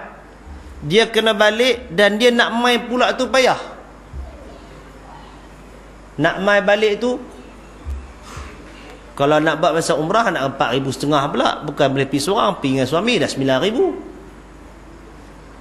Nak pergi tu tak tentu lagi bila nak pergi. Dah dapat tutup tak boleh pergi umrah dua bulan. Ha, nak pergi bila untuk orang ni kalau orang tu duduk di luar kota Mekah duduk di mana di Madinah ke duduk di luar di Taif ke Ha, jadi tak, tak kira. Ini untuk orang yang balik tu nak main payah macam orang Malaysia. Malaysia, Jepun, apa semua tu. Dan kita pun bajet pun cukup-cukup tu lah. Nak pergi pun lima tahun sekali kot nak pergi. Maka digunakan apa yang disebut sebagai illatut tahrim. Dilarang pasal apa? Dilarang kerana bimbang kotor masjid kalau orang haid tawaf takut tumpahan. Jadi hendaklah kata Syekhul Islam hendaklah wanita itu tadi mengemaskan dirinya pakaiannya lapiklah apa nama bahagian yang keluar haid itu dengan kemas agar tidak mengotorkan masjid tawaflah dia ifadah. Dan tawaf itu sah tawaf ifadah aja tawaf wadak tak payah Pasal yang tu sunat, yang ni dia kena buat. Untuk siapa? Perempuan yang haid, yang belum tawaf ifadah, tapi dia kena balik ke negeri dia dan payah untuk kembali semula ke Mekah menyelesaikan yang dia tangguh tu. Yang tu dia boleh buat tanpa sebarang masalah. Wallahu a'lam. Ini pendapat yang paling mudah untuk jemaah haji wanita yang haid. Terutama yang Malaysia. Kalau yang kapal terbang lambat, dia duduk Mekah lambat lagi, ha, tak apa, dia boleh tangguh. Kalau takak habuan nak pergi Madinah pun, apa pergi dulu, dia pergi kemudian. Benda tu boleh buat arrangement, boleh boleh buat pakat dengan dengan orang yang mengendalikan. Ha, itu dia. Wallahu a'lam. Ada satu lagi, satu lagi dia orang tak mau, jadi makan pil lah jadi. Itu cerita dia. Wallahu a'lam. Ada soalan lain? Kalau rasa-rasa tak puas tuan-tuan talian hayat ada sentiasa tuan-tuan telefon. Hantar mesej kalau rasa-rasa 2 3 2 hari tak jawab tu telefonlah. Banyak dengan mesej segan nak jawab sebenarnya. Sat nak jawab okey pun Takat okey je segan. Wallahu alam. Subhanakallahumma wa bihamdika ashhadu an la ilaha illa anta astaghfiruka wa atubu ilaik. Assalamualaikum warahmatullahi wabarakatuh.